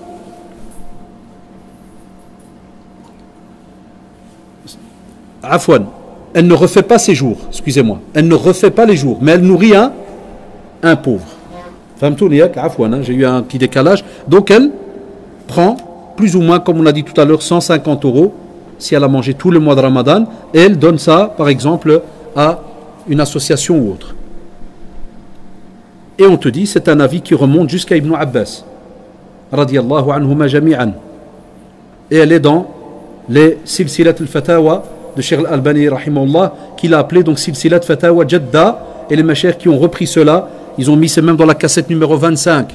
C'est son avis, rahimahullah. Tandis que d'autres machers, écoutez bien pourquoi, parce qu'il te dit qu'il y a un hadith qui est sahih. Cheikh al-Albani, rahimahullah, écoutez bien, il dit qu'Ibn Abbas a dit, si la femme enceinte craint pour sa personne et celle qui allait aussi, même celle qui allait, celle qui, subhanallah, allait le bébé après, et que c'est pendant Ramadan, et qu'on sait très bien pour avoir une montée laiteuse, pour avoir du lait, il faut boire beaucoup. Ça Qu'est-ce qu'il a dit? Celle qui craint pour son enfant pendant Ramadan, alors qu'elle mange, donc elle, il dit, elle mange, et qu'elle donne à la place pour chaque jour non jeûné à manger un pauvre, et qu'elle ne rattrape pas les jours non jeûnés. Voilà ce que dit Cheikh Al-Albani, aussi dans l'Irwa Taïb. Il est connu, c'est un avis. Tandis que d'autres machaïrs, qu'est-ce qu'ils disent? Ce sont en Arabie et autres, qu'est-ce qu'ils disent? Il te dit non, elle attend jusqu'à ce qu'elle aille mieux. Et à ce moment-là, qu'est-ce qu'elle fait? Elle refait les jours qu'elle n'a pas jeûné. Eh bien, Shabab aujourd'hui se dispute. Tu peux avoir deux sœurs, une qui suit la vie de Cheikh Albert et une qui suit la vie, par exemple, de Jumhur, de la majorité. Un exemple, quand c'est le cas, il n'y a pas à se disputer pour cela. Si une personne a pris l'avis de Cheikh, Alhamdulillah. Si une personne a pris l'autre avis, Aoud Alhamdulillah. Mais des fois, certains de nos machaïrs, ils nous donnent comme conseil, il arrive qu'ils nous donnent comme conseil d'aller vers ce qu'on appelle la majorité des savants. Mais jamais tu les entends annuler l'avis du premier. Tu l'éducation. Tu l'ihtiram, le respect qu'ils ont entre eux. Aussi, euh, les questions qui reviennent très souvent, les gouttes qu'on met dans les yeux, dans les oreilles, dans le nez. Eh bien, Cheikh bin Baz, il dit ce qui est correct, c'est que ça n'annule pas le jeûne. Mais regardez comment il est respectueux. Ceux qui partent, j'espère que vous avez quelque chose d'obligatoire à faire. Parce que qu'Allah nous récompense pour la patience qu'on a en restant dans la mosquée. Va arriver un jour, Wallah, on regrettera les heures qu'on aurait pu passer, hein, comme on dit, dans Baytullah. C'est immense. Si je le dis, parce que je vous aime en Allah, mais chacun est libre de son programme. Qu'est-ce qu'il dit? Il dit, mais il y a divergence sur ce point. Quand la goutte arrive à la gorge, cela annule le jeûne. Tu as mis une goutte pour ton nez, quand elle est arrivée à la gorge, elle annule.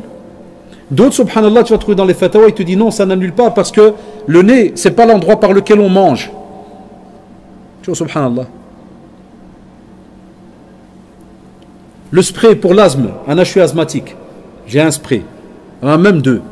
Il y a que tu as le spray quand tu as une crise, et puis tu as celui-là qui t'aide à tenir toute la journée, par exemple Inuver, Pulmicort et ainsi de suite.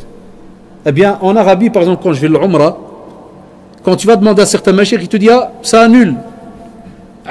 Parce que dès que le spray, là, quand il passe par la gorge, certaines particules descendent, ça peut aller vers l'estomac, ça va vers les poumons, kada, ceci. Regardez, subhanallah.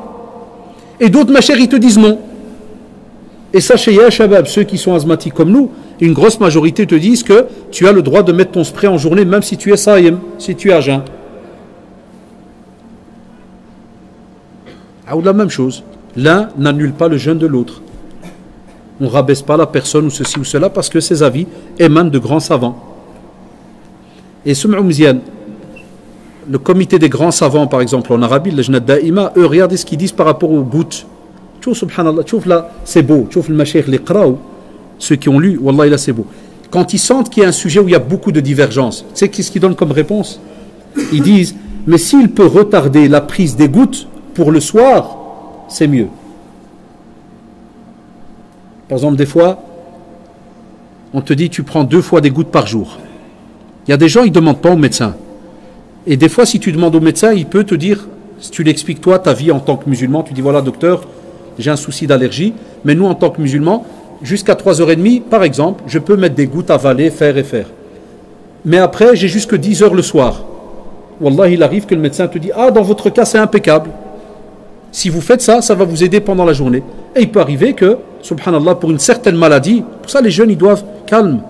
Chaque dossier médical n'est pas le même.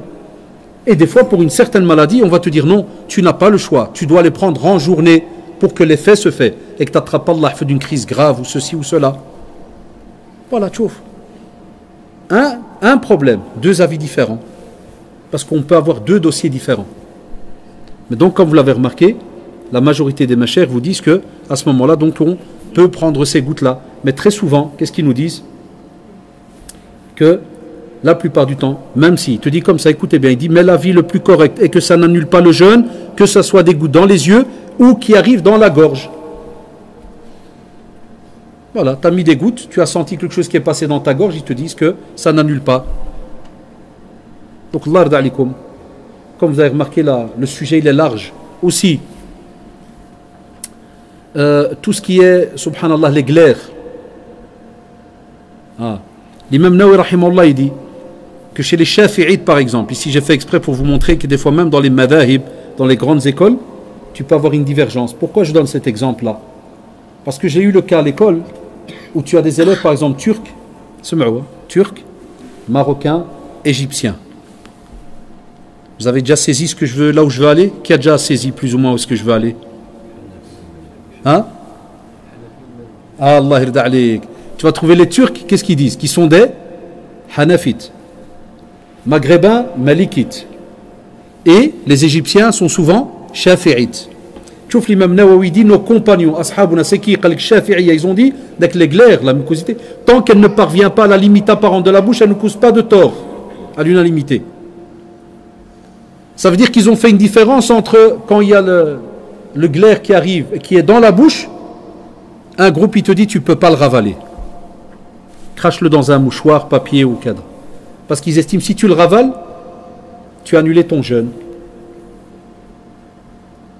Et d'autres qui estiment que si tu as senti le glaire, mais il est au fond, il est là, il arrive au début de la bouche, et il est redescendu, il te dit ça n'a rien à voir, il suit un canal, parce qu'il te dit c'est l'habitude des mucosités, des glaires et autres, c'est qu'ils descendent derrière, donc le nez, ils arrivent donc à l'arrière, donc de la bouche et ils descendent. Tchouf, tchouf, subhanallah, les ulama jusqu'où ils ont été divergés sur le passage des glaires, parce que ça s'est soulevé. Alors, Hatta, subhanallah, chez les, euh, chez le Hanabila, par exemple, et chez les, les Shafi'ites, d'office. D'office, il te dit que si jamais ça parvient à la bouche, c'est avalé. Ça veut dire que nos jeunes, là, quand ils se disputent des fois à l'école, je leur dis, là, quand j'étais prof de religion, je leur dis, les gars, calme. Et pour euh, rigoler avec eux, je dis, toi, le Hanafi, t'as raison, et toi, le Shafi'ite, t'as raison. Alors, des fois, alors qu'avec le Malik, ils ont un avis différent.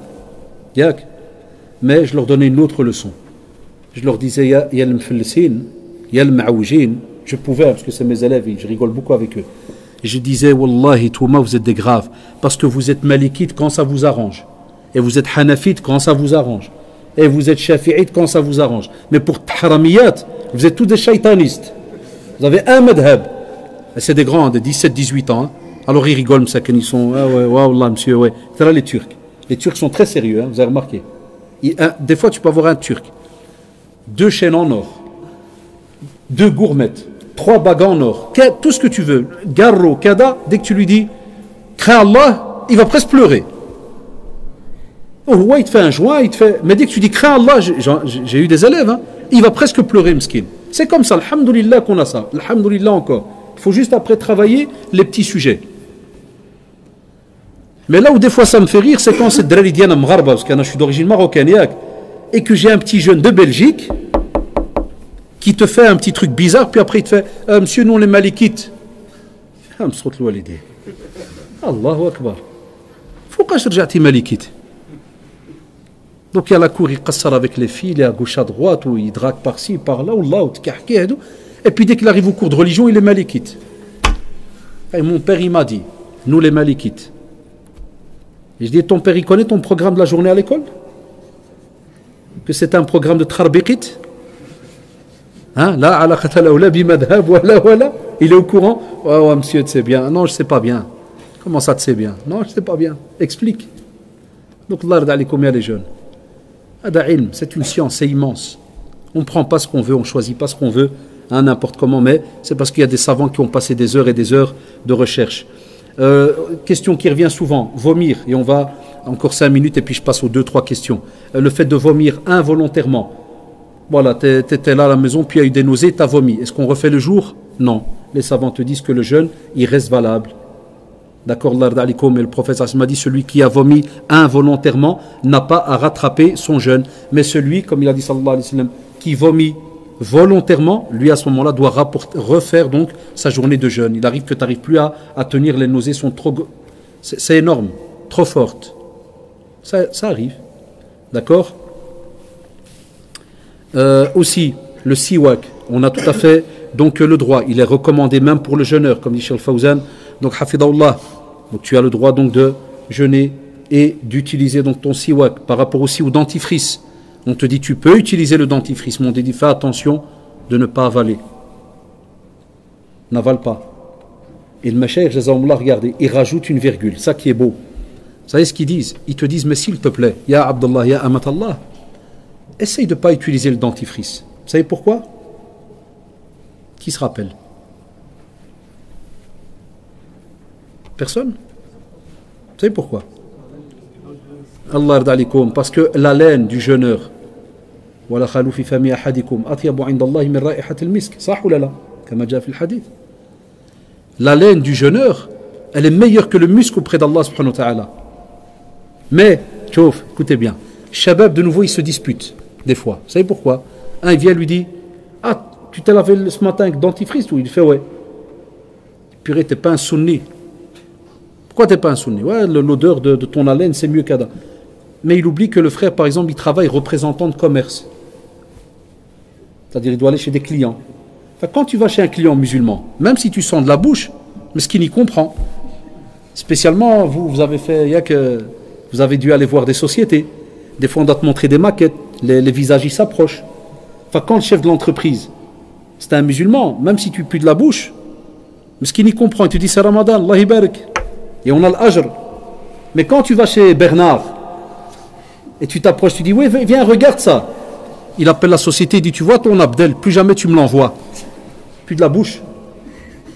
Wallahi, ah, vous rigolez, mais c'est ce qui est arrivé quand on nous appelait au centre, en nous disant Oustad, il y a des gens qui me rabaissent et qui me disent Ouais, t'as pas à te laver le visage, t'as pas à faire, t'as pas ceci. Il dit Mais j'ai des problèmes au travail. Donc, ya Shabab, c'est pas une question d'aller rabaisser son frère ou sa soeur et lui dire T'es pas un sunni, euh, t'as perdu des hasanats, tu as ceci. Non. Donc on peut utiliser le dentifrice, mais vous avez compris, si jamais tu rien qui t'oblige à utiliser le dentifrice en journée, garde ta bouche dans son état naturel. Ça? Et puis encore une autre virgule. Il peut arriver que ton épouse ou ton époux ne supporte pas. Ça arrive, Wallah, on est des êtres humains. Des fois la laine d'une personne, elle est peut-être plus difficile et dure qu'un coyote. Ça peut arriver. Ah, les jeunes, ils rigolent, ils me disent ça. Ils me disent, monsieur, il a, il a, il a une haleine d'un loup. Il dit, Wallah, dès que ça sort de sa bouche, je vais tomber, Allah, monsieur. Et moi, en classe, Wallah, je testais. Hein. Maintenant, je ne peux plus dans les cours, ça me manque à l'école, parce que voilà, à cause des nouveaux diplômes, toutes ces choses-là. Mais des fois, j'allais, Ramadan, j'allais vers l'élève. Comme l'année passée et tout. J'allais, je dis, fais, je dis, Allahu Akbar, Allahu Akbar. Ça arrive. Alors imagine s'il est marié. Ça, peut arriver. Et vous allez me dire pourquoi Vous aurez pu me dire pourquoi vous soulevez ça s'il est marié Quel est le rapport? Ben Parce qu'il y a encore une question qui est souvent demandée, c'est que quand on est marié, est-ce qu'on peut embrasser son épouse? Tu rentres du travail, tu vas embrasser ton épouse. Est-ce que c'est haram? Est-ce que ça annule le jeûne? Ramadan? Là, le prophète, sallallahu alayhi wa sallam, comme disait Aïcha, il le faisait. Mais, il est rajouté dans le hadith. Lui, sait se retenir. Il sait garder ses limites. Ça. Donc on te met en garde. Mais si on revient en arrière, on te dit voilà, il peut arriver que un jour, peut-être ton épouse va te vexer. Peut-être ton mari va te vexer, va te dire une parole. Il y a des gens, subhanallah, il y a des gens, c'est incroyable. Il, il se vexe, si tu lui dis, tu sens de la bouche. Il n'y en a plus jamais, il te parle. Et non, ça existe, il y a des gens, ils ont ce caractère. Mais mais abadan va pas l'accepter. Donc voilà. On, on regarde les sensibilités. Mais si on, si on, te dit tu es capable et tu veux gagner des hasanat en plus qu'ada, rattache-toi au siwak par exemple. Euh, aussi la question qui est demandée souvent, le khol, est-ce qu'on peut mettre le khol pour les yeux? Vous savez très bien que dans la sunna, même les hommes mettaient le khol. Il y a qu'aujourd'hui ça se fait, les gens ils le font quasi plus. Il y a que les femmes encore qui le font. Il y a que ça rentre dans le domaine du maquillage et, et, autres. Mais l'imam Shafi'i, par exemple, il l'a autorisé. Il est rapporté aussi de Anas, qui, qui mettait donc euh, le, le à ses yeux et que cela n'annulait pas donc euh, euh, le jeûne. Et écoutez bien, quand on va dans le Mourni d'Ibn Qudama et qu'on prend un avis par exemple chez les Malikites, il te dit que si jamais il en ressent quelque chose dans la gorge, parce qu'ils ont remarqué qu'il peut arriver que quand tu mets le khol vraiment celui-là qui est très très pur, il peut arriver qu'il passe par un certain canal et que tu ressens certains, gratuitement là au fond de la gorge. Il y a des savants, ils en parlent. Pour eux, alors à ce moment-là, ils te disent que ça annule le jeûne. On a de nouveau deux avis. Et c'est là que vous comprenez pourquoi l'imam Malik, il pouvait arriver qu'il soit dur vis-à-vis de certains. Parce que certains nos chers aujourd'hui te disent si tu es toute l'année malikite, il n'y a pas de souci. Il te dit alors ne joue pas avec les fatawa. Si tu as une conviction telle et d'autres qui vont te dire, là, la porte, elle est ouverte. Parce que le prophète m'a dit Alaykum bi sunnati. Donc il peut y avoir un avis qui peut être pris de l'imam Ahmed, ou bien de l'imam Shafi'i, et ainsi de suite. Tu dis Alhamdulillah. Vous voyez, Shabab Et, Allah euh, ça c'est une question aussi qui, euh, qui revient, le maquillage. Beaucoup de sœurs demandent est-ce qu'on peut mettre de la crème? C'est la même chose que le qadiyya des piqûres. Ils ont dit si c'est des crèmes spéciales qui rajoutent de la force au corps, nutritive et autres, pour donner des forces, ils ont dit on s'abstient, on ne les porte pas, on ne les met pas. Euh, rouge à lèvres, ceci, cela, n'annule pas le jeûne. Mais comme vous le savez, à la maison, par exemple, son embellir son mari, ceci, cela. Après, les gens sont libres. Parce que vous, avez, savez, aujourd'hui, on est arrivé à un point. Voilà, c'est comme ça. Aujourd'hui, même nous, dans les doros, je vais quand même le faire, c'est rien, même nous, dans les doros, si tu oses dire que, par exemple, voilà, chez nous, en tant que musulman, une femme ne se maquille pas à l'extérieur, on va dire ça, c'est un extrémiste. Bienvenue. Ah non, on risque notre peau. Hein. Ah, c'est comme ça maintenant à cause de certains cas maintenant voilà. Donc, euh, alors qu'on sait, c'est pas pour rabaisser la femme dans notre religion. C'est pas pour dire que la femme doit rester moche et la femme ceci, la femme cela. Là, voilà, c'est dans Bab al-Haya, Bab al-Hishma, Bab, c'est pudeur, kadal. C'est des beaux sujets chez nous, j'ai bien dit chez nous en tant que musulmans. Et wallahi, avec aucune intention de rabaisser qui que ce soit. Donc, par exemple, d'Indiana, dans notre religion, la femme se parfume à l'intérieur et se maquiller à l'intérieur de chez elle. En dehors, non. Mais on dit à nos jeunes, celle qui, veut le faire, c'est sa vie, c'est son droit, elle est dans un pays libre, elle fait ce qu'elle veut. C'est pas aux jeunes d'aller l'insulter dans la rue ou de la rabaisser ou quoi que ce soit. Mais ça n'annule pas le jeune. D'accord, Shabab Mais il y a des fois l'ajr qui peut diminuer par rapport au fait qu'on fait le contraire de ce qui est demandé par le prophète sallallahu alayhi wa sallam et ainsi de suite. D'accord, c'est à ce niveau-là. On a le droit de goûter un plat par exemple, les, mamans nous demandent très souvent ça. Je suis en train de préparer un plat, est-ce que je peux mettre euh, goûter? Vous avez compris, hein, c'est pas avaler une cuillère. Hein. On met la langue, d'accord? Mais la plupart, comme vous le savez, mes chéris disent s'il y a un besoin, ah, toi tu, tu, fais le plat le même des années. C'est pas parce que c'est Ramadan que tu vas commencer à avoir des doutes. Il y a un plat que jamais d'habitude tu le fais tout le temps, tu goûtes pas. Il te dit continue à pas goûter. D'accord? Mais si jamais il fallait goûter, il te dit il n'y a pas de souci par rapport à cela. Aussi la question que vous connaissez, mais que certains jeunes ont encore des doutes, si jamais en journée on n'a pas fait exprès et il y avait un verre, on a bu une gorgée, est-ce que ça annule? Ça n'annule pas et on ne refait pas le jour. Comme l'a dit le prophète, c'est Allah qui t'a à ce moment-là nourri, abreuvé. Donc tu, voilà, tu t'arrêtes et c'est tout, et tu, tu continues. D'accord? Tu fais attention pour les, prochaines fois. Il y a encore euh, euh, côté. Euh, et on clôture. Il y a, beaucoup, hein. moi j'ai fait là, une vingtaine de pages. Je crois que je suis passé par, parce qu'il y en a beaucoup, je vous ai dit de, mémoire. Ah oui, des fois, des fois il arrive que les jeunes nous disent, si jamais on se lève le matin, il est, ça arrive. L'insan, il ne s'est pas réveillé pour la prière de Subh. Il a fait son possible, il s'est pas réveillé. Mais il s'est levé le matin en étant de janaba, en état de janaba. Ça veut dire qu'il y a eu une, éjaculation, un liquide spermatique qui est sorti. Souvent, les jeunes demandaient souvent en classe Est-ce que ma journée, elle est annulée? On te dit non. Donc ton jeûne, il est accepté avec l'avis de ceux qui te disent qu'il y a eu l'intention au début du mois. Vous avez compris. Hein Vous voyez maintenant pourquoi c'est bien d'être au courant de ces avis-là. Parce que ça va toucher un tas de situations. D'accord? Et à ce moment-là, tu te laves et directement donc tu fais ta prière. Comme il est déjà arrivé au prophète, sallallahu alayhi wa sallam, quand il y a eu une fois, donc comme on dit, euh, un retard donc par rapport à la prière de, de donc, euh, euh, Shabab, il reste, Inch'Allah, deux, trois euh, questions. On va voir juste. La ilaha illallah. Il y a, il y a une question qui, subhanallah, on retrouve différents avis chez, chez les savants. Très belle question. Il y a une sœur reconvertie ou convertie qui dit Je voudrais savoir si lorsque mes parents sont non musulmans, ils me rendent visite pendant le mois de Ramadan, est-ce que je peux leur servir à manger ou à boire durant la journée? On a deux, avis. Et subhanallah, cette question, elle est aussi souvent, euh, euh, demandée par ceux qui ont des snacks et autres, et restaurants.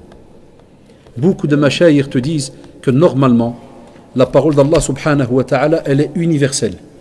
Elle touche tout le monde. C'est là que les divergences vont arriver, vous allez comprendre. Ils ont dit la parole d'Allah subhanahu wa ta'ala, elle touche tout le monde. Donc ils ont dit que ce soit le musulman ou le non-musulman, il est aussi interpellé par la parole d'Allah subhanahu wa ta'ala. Et ils ont dit alors à ce moment-là, premier chapitre, je résume tout ça, c'est des longs sujets, je vous les résume. Ils ont dit, à ce moment-là, celui qui normalement, il sait que telle chose, elle est haram pour lui, eh bien elle est haram aussi pour l'autre, même s'il n'est pas musulman. Comme par exemple, ils ont dit, si l'alcool, tu sais que c'est interdit pour toi, c'est pas parce qu'au travail, ton chef, il t'offre une bouteille d'alcool, que direct tu prends le plastique, tu le donnes à Bernard. Tu dis, vas-y, saoule-toi, bois. Ils ont dit non, si c'est pas bon pour toi, c'est pas bon pour, pour lui aussi. Et là où, je vous résume le sujet, hein, parce qu'il est assez long. Les autres, qu'est-ce qu'ils ont dit Certains, ils ont dit, là, est-ce que la personne, est, mukallaf ou pas? Est-ce qu'il est dans cette responsabilité-là de, de, devoir suivre la règle ou pas? Ils ont dit, il n'est pas musulman, donc il n'a pas d'obligation de suivre la règle. Enfin, quand on a cette ambiguïté, j'ai aimé Cheikh euh, Abdullah Mutlaq, Hafidahullah, il aime Hayat Kibar al-Ulama, Peut-être que je vous en avais déjà parlé, mais le rappel, il est toujours bien. J'étais son, accompagnateur, j'étais son traducteur quand il était venu ici en Belgique pendant quelques jours. Et donc j'étais aussi son traducteur quand il y avait Dars et que des jeunes posaient des questions en français. Et une fois, un reconverti lui a dit, lui a dit, cher, euh, mon père me demande de lui acheter de l'alcool. Est-ce que je lui achète? Regardez comment on peut faire des fois le qiyas une analogie par rapport à certaines situations. Il a dit Est-ce que je peux lui apporter de l'alcool? Qu'est-ce qu'il lui a dit, cher? Il lui a dit Si tu es dans une démarche de da'wa avec ton père, ça veut dire ça fait des mois que tu es en train de faire la da'wa, tu avances avec lui. Il accepte, euh, il, accepte que tu es musulman, il avance. Et il a dit que, lui dit, et que tu as peur que si jamais tu vas pas lui acheter, ça va rompre. Ça, j'étais hadar, c'est pas des on dit. J'étais témoin. Et il a dit, si jamais ça va rompre cette relation entre toi et lui, si tu lui achètes pas.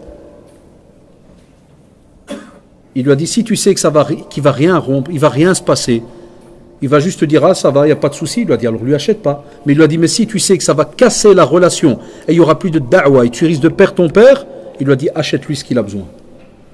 Tu vois subhanallah.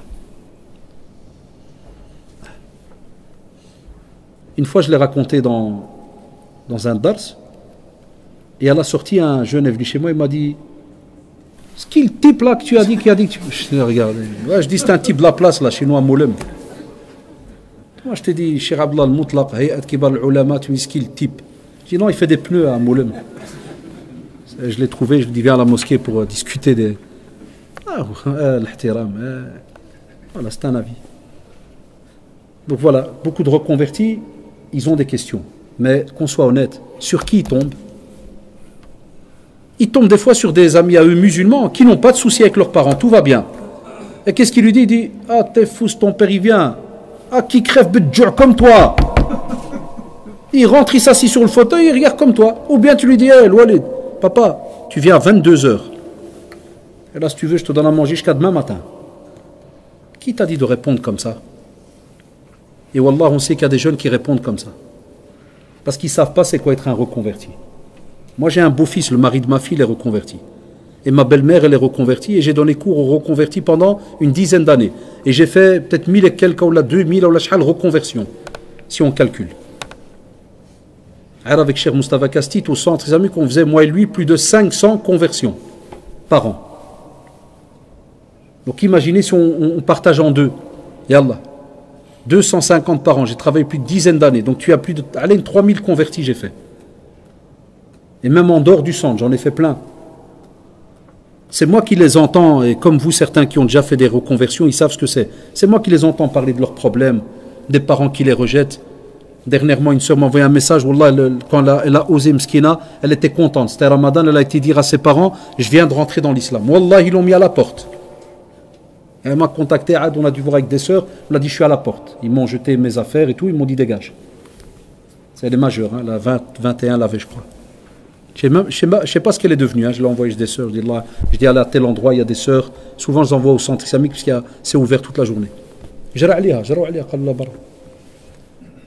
Nous, nous on n'est pas habitués de, d'entendre un père qui va jeter sa, fille d'or. Encore, on est habitué d'entendre qu'un père, il, il, le garçon. Souvent, on dit c'est un rajel. Dégage. C'est. Est-ce qu'on les fait sortir, nous? C'est rare. dans, dans Tarbiya dans, euh, allez, dans, notre relation côté, c'est très rare. Chez eux, certains, ils n'ont pas de scrupules, directement de rien, parce qu'elle a dit Ashadu la ilaha illallah. Donc faites attention quand vous répondez. Donc, chère sœur, à vous de voir la relation. Bah, je donne un exemple, chère sœur. Si jamais vos parents, c'est le style hyper ouvert, qui ont accepté que vous êtes musulmane et que tu leur dis, papa, euh, je vous invite chez moi le vendredi soir, venez, cada, ceci, cela. Voilà tu testes, ça ne va pas, il n'y a pas de souci. Ils viennent, tu leur fais comprendre, tu dis voilà, je suis désolé, moi je mange pas, ceci, cela, je suis à jeun. Mais voilà, si vous estimez que vous voulez absolument. Il y en a, Allah, ils me le disent, hein. il y a des parents, ils viennent faire Ramadan exprès, des non-musulmans. Exprès, ils rentrent, ils font Azri, tu me fais deux œufs. Wallah, est comme ça. Un, j'ai eu avec ma belle-mère, Allah hafda mskina Nsibti, ses parents c'était deux, chrétiens. Hein. Donc, euh, il n'y a que sa mère, elle est morte, chez euh, avant de mourir, que sa mère. L'Abi voulait pas. Quand j'allais chez eux, donc je suis marié depuis 26-27 ans, quand j'allais chez les grands-parents de mes enfants, Quand j'allais exprès des fois, Blani me fait Rachid, un peu de vin. Hmm. Hein. Il le sait, je lui ai expliqué qui je suis. Il me fait un peu de vin, je dis non. Il me dit extrémiste. Tu es un extrémiste. Tu es un copain de Ben Laden. Hein Comme ça, wallahi. Même skin gentil, mais pique sur pique. Et moi, Dayman Dak. Un jour, il m'a dit, dit, toi, tu es fou. Je dis pourquoi? Il m'a dit, je t'embête depuis des mois et des mois. Il n'y a rien. Je dis, c'est l'islam. Tu es comme notre père maintenant. Tu es, là, tu es, le grand-père de mes enfants. Tu es comme leur père. J'ai dit, moi j'invoque toujours que tu deviens un jour musulman. Eh oui, Béraoud direct. Jamais, non, non, non, non, ça fait, alhamdoulilah. Mais, un âge j'ai testé. Mais j'aurais pas eu ça dans ma famille. Est-ce que j'aurais pu savoir ce que c'est? Non. Donc, l'ard alikum, quand un reconverti, frère, sœur, vient vous poser une question, si vous ne connaissez pas le système, répondez pas. Dis-lui par exemple, va à telle mosquée, ou bien va au centre, va à Kada, ou bien si vous connaissez un reconverti, ainsi de suite. Et pour terminer, barakallahu fikoum, alhamdoulilah, ma كاينش شي عشاء كيسنانا ياك شي طاجين ولا باقي ياك صافي استوى existe-t-il un, un assouplissement pour la femme pour la prière de l'Isha sachant que le eh naam ça c'est en vérité je vous l'avais dit au début puis j'ai fait exprès de passer sur le sujet j'ai répondu que la moitié quand j'ai parlé de la prière de Sobh et les différences dans le calendrier. On sait qu'on a le même problème pour la prière de, de l'Aïcha. Moi, je me suis dit, avec l'explication que j'ai donnée pour Sobh, normalement c'est la même explication pour l'Aïcha. Mais c'est vrai que l'Aïcha c'est encore plus compliqué. Par exemple, chez nous à Bruxelles, euh, hier mes enfants ils ont été à une mosquée, moi j'avais été à une autre, ils ont été à une mosquée où subhanallah, donc imaginez, à, vers 11h moins quart, il commence Tarawih. Vous savez pourquoi? Parce qu'il regroupe le Maghreb ou l'Acha, ils retardent le Maghreb, et puis ils font l'Acha ensemble, et puis ils font Tarawih. 11h30, ils ont tout fini. Et mon fils, quand il est rentré, il m'a dit Abi, Abi, voilà comment on a fait tout. Ah, j'arrive plus à suivre. والله عاد خصني نشوف ان شاء الله مع الشيخ توجاني حفظه الله lui demander عاود un avis parce que je connaissais pas le système je l'avais entendu de loin mais je pensais pas qu'il allait être mis en pratique en Belgique il y a des mosquées qui le font à Bruxelles Cheikh Mohamed Hafidahullah يوم الجمعة في الخطبة qu'est-ce qu'il a dit il a dit d'après tous les ijtihadat qu'il y a des jalasat qu'il y a eu des grandes rencontres entre les savants qui sont venus aussi voir un peu le système comment ça se passe en Europe il a dit que l'idée étant donné que maintenant le signe pour déterminer la prière de l'Isha il est compliqué à, être vu, ils ont, mis ce qu'on appelle le, la règle d'une heure et demie après Al-Maghreb. Ils ont mis la règle d'une heure et demie après le Maghreb. Il en a parlé, Fulkhotwa al-Jumu'ah, juste donc il y a quelques jours. D'autres ont quand même fait certains calculs. On a, la, feuille de prière, par exemple, si je ne me trompe pas, on a 23 heures, on a 23h30 et on a une feuille de prière qui va jusqu'à minuit, donc pour l'Isha, regardez. Euh, on a une feuille de prière ici, où l'Isha est à 23h14. On a, on a la feuille, où est-ce qu'elle est là? Il a Allah, la technologie, on essaie de s'adapter, mais. On a euh, la mosquée Al-Khalil, le 28, l'Isha, 23h40.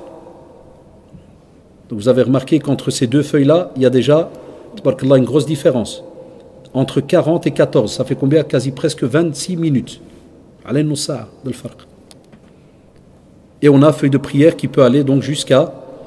Donc ça c'est le mois de juin, le 20, le, c'est bon, on va dire le 21, on a même 47, 23h47.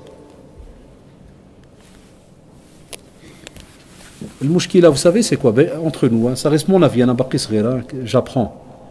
Le problème, c'est pas les feuilles de prière. Vous savez, c'est quoi le problème? C'est nous. Saraha, c'est nous. Parce que si on suivait, subhanallah, le fait qu'on est censé respecter nos machères, normalement, normalement, si ou si nos machères, jazaumullah, ils essayent de s'accorder sur une, une hissa pour la Belgique, La communauté ne vivrait pas dans les problèmes. Mais, mais, on ne peut pas tout jeter sur nos machères. Parce que quand je discute avec certains de nos machères, ils nous disent qu'il y a aussi certaines mosquées qui sont mrannin. Hein, ça arrive. Ça arrive. Hein?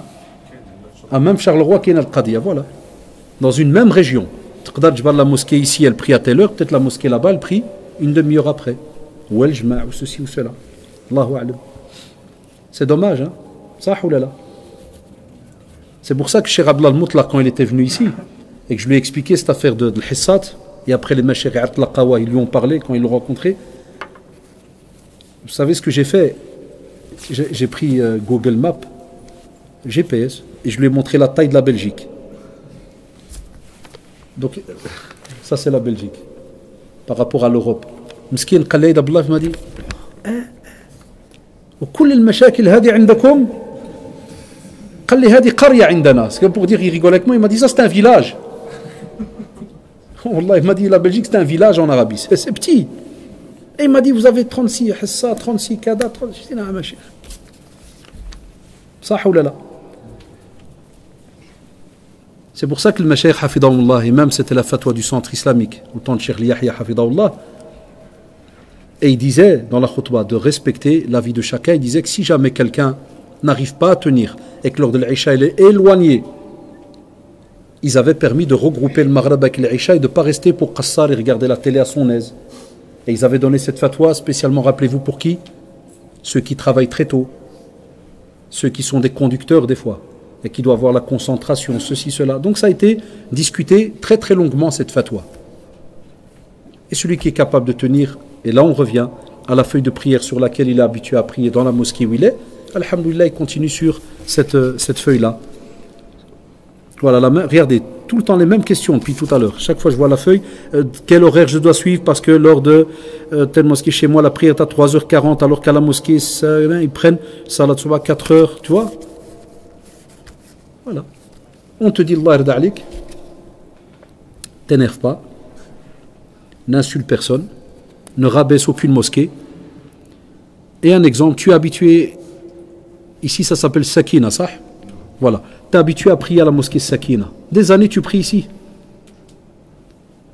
وسمحوا لي خصكم تفهموني الله يرضى عليكم هذه حسبوني اليوم جلسه اخويه وفرحان والله tu pries derrière Cheikh صح toute l'année tu pries derrière lui et Ramadan c'est un kdab Ramadan c'est un type qui fait n'importe quoi Yallah qui peut me répondre Wallahi Mousseba, Famtouni, vous m'avez compris. Touf les gens, comment ils réfléchissent des fois. Je parle plus de cette personne, oublie. Toute l'année, ils prient derrière un cher. Ils ont confiance en les responsables. Je ne sais pas qui est responsable de la mosquée, mais le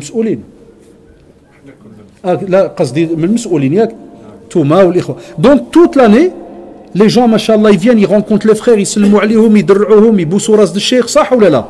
Au Ramadan, c'est des fous. Donc, des gens qui ont Ramadan.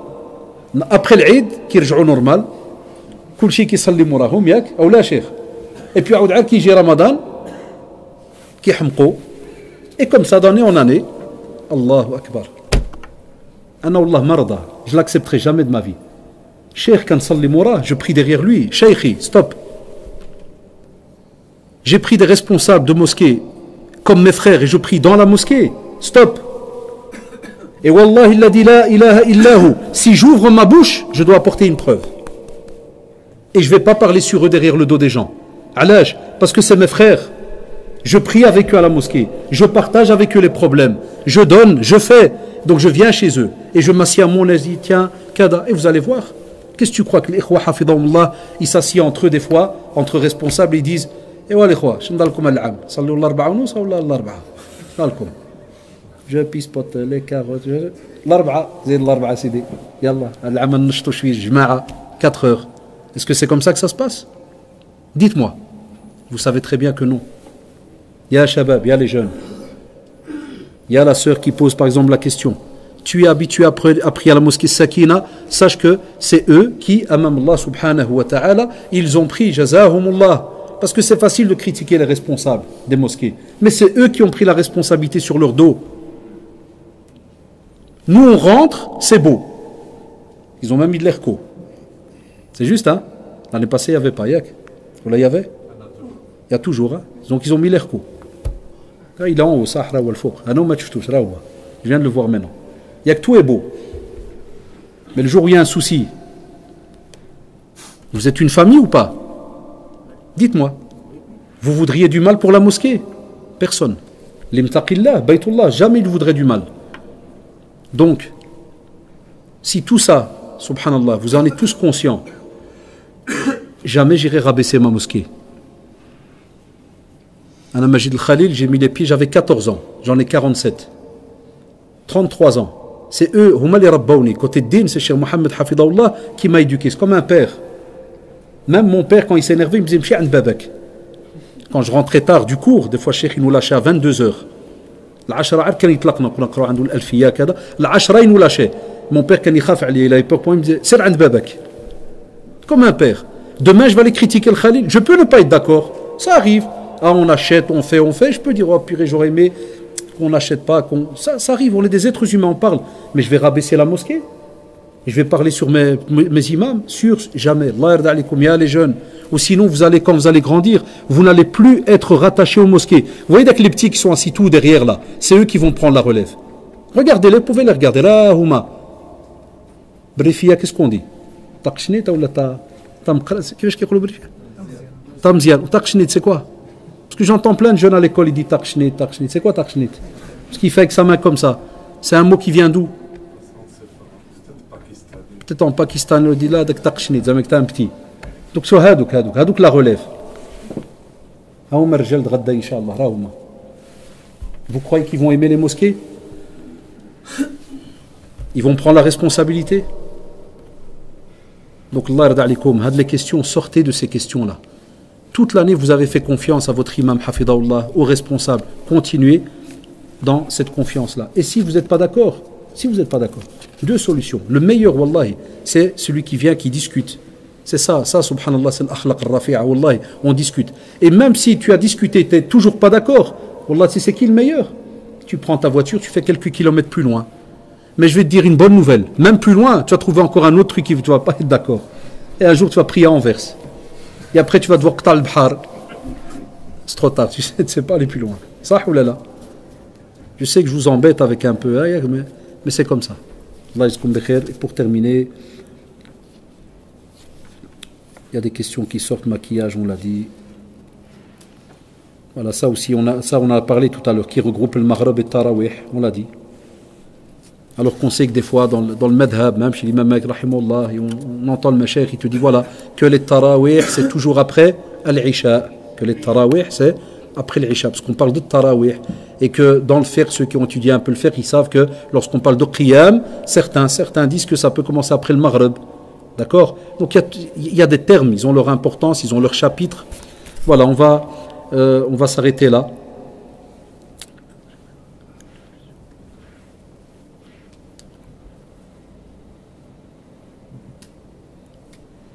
J'ai mal compris parce qu'elle parle des règles, mais j'ai expliqué les règles, alhamdoulilah. Donc voilà, qu'Allah subhanahu wa ta'ala vous préserve. Et avec toutes les questions qu'on a déjà dit, sachez que toutes ces questions-là, j'ai parlé à peu près deux heures. Les frères, ils ont fait l'exposé, ils ont terminé vers 6h30, plus ou moins 25. Il est 8h15. Donc on va dire 1h40, tout ça c'est une amana. C'est une mas'ouliya c'est un dépôt, c'est une responsabilité qu'on met sur le dos de chacun. chaque dars que vous allez écouter, chaque dimanche que je vais venir, ou bien professeur Sikaki Hafidahullah, tout ça c'est une c'est un dépôt qu'on va vous déposer. C'est une mas'ouliya Allah subhanahu wa ta'ala. Fait qu'on essaye, ce qu'on entend ici, de le transmettre à nos jeunes à l'extérieur. Parce que je suis sûr qu'il y a encore plein de jeunes à gauche, à droite qui viennent pas. Parlez-leur pendant la semaine.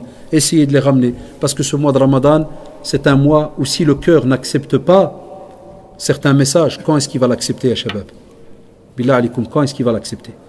Si durant ce mois, il n'y a pas de retour vers la mosquée, quand est-ce qu'on va retourner vers la mosquée soyez des dou'at, soyez des prédicateurs, soyez des, des, gens qui rencontrent les autres avec un sourire, qui leur parlent, qui patientent avec eux à gauche à droite, dans les quartiers par-ci par-là. وبارك الله فيكم. اللهم أرنا الحق حقا وارزقنا اتباعه. اللهم أرنا الحق حقا وارزقنا اتباعه. وأرنا الباطل باطلا وارزقنا اجتنابه. وأرنا الباطل باطلا وارزقنا اجتنابه. اللهم إنك عفو كريم تحب العفو فاعف عنا. اللهم إنك عفو كريم تحب العفو فاعف عنا. اللهم ألف بين قلوبنا. اللهم ألف بين قلوبنا. اللهم سدد خطانا. اللهم سدد خطانا. اللهم ارحم والدينا. اللهم ارحم والدينا. وارحم مشايخنا. اللهم ارحم مشايخنا واشف مرضانا. اللهم اشف مرضانا. اللهم تقبل منا صيامنا. اللهم تقبل منا صيامنا وتقبل منا قيامنا وتقبل منا قيامنا. ربنا آتنا في الدنيا حسنة وفي الآخرة حسنة وقنا عذاب النار. سبحانك اللهم وبحمدك نشهد أن لا إله إلا أنت أستغفرك وأتوب إليك. سبحان ربك رب العزة عما يصفون وسلام على المرسلين والحمد لله رب العالمين. Il n'y aura pas de questions en privé. Je suis fatigué. Je crois que c'est compréhensible. Allah. Allah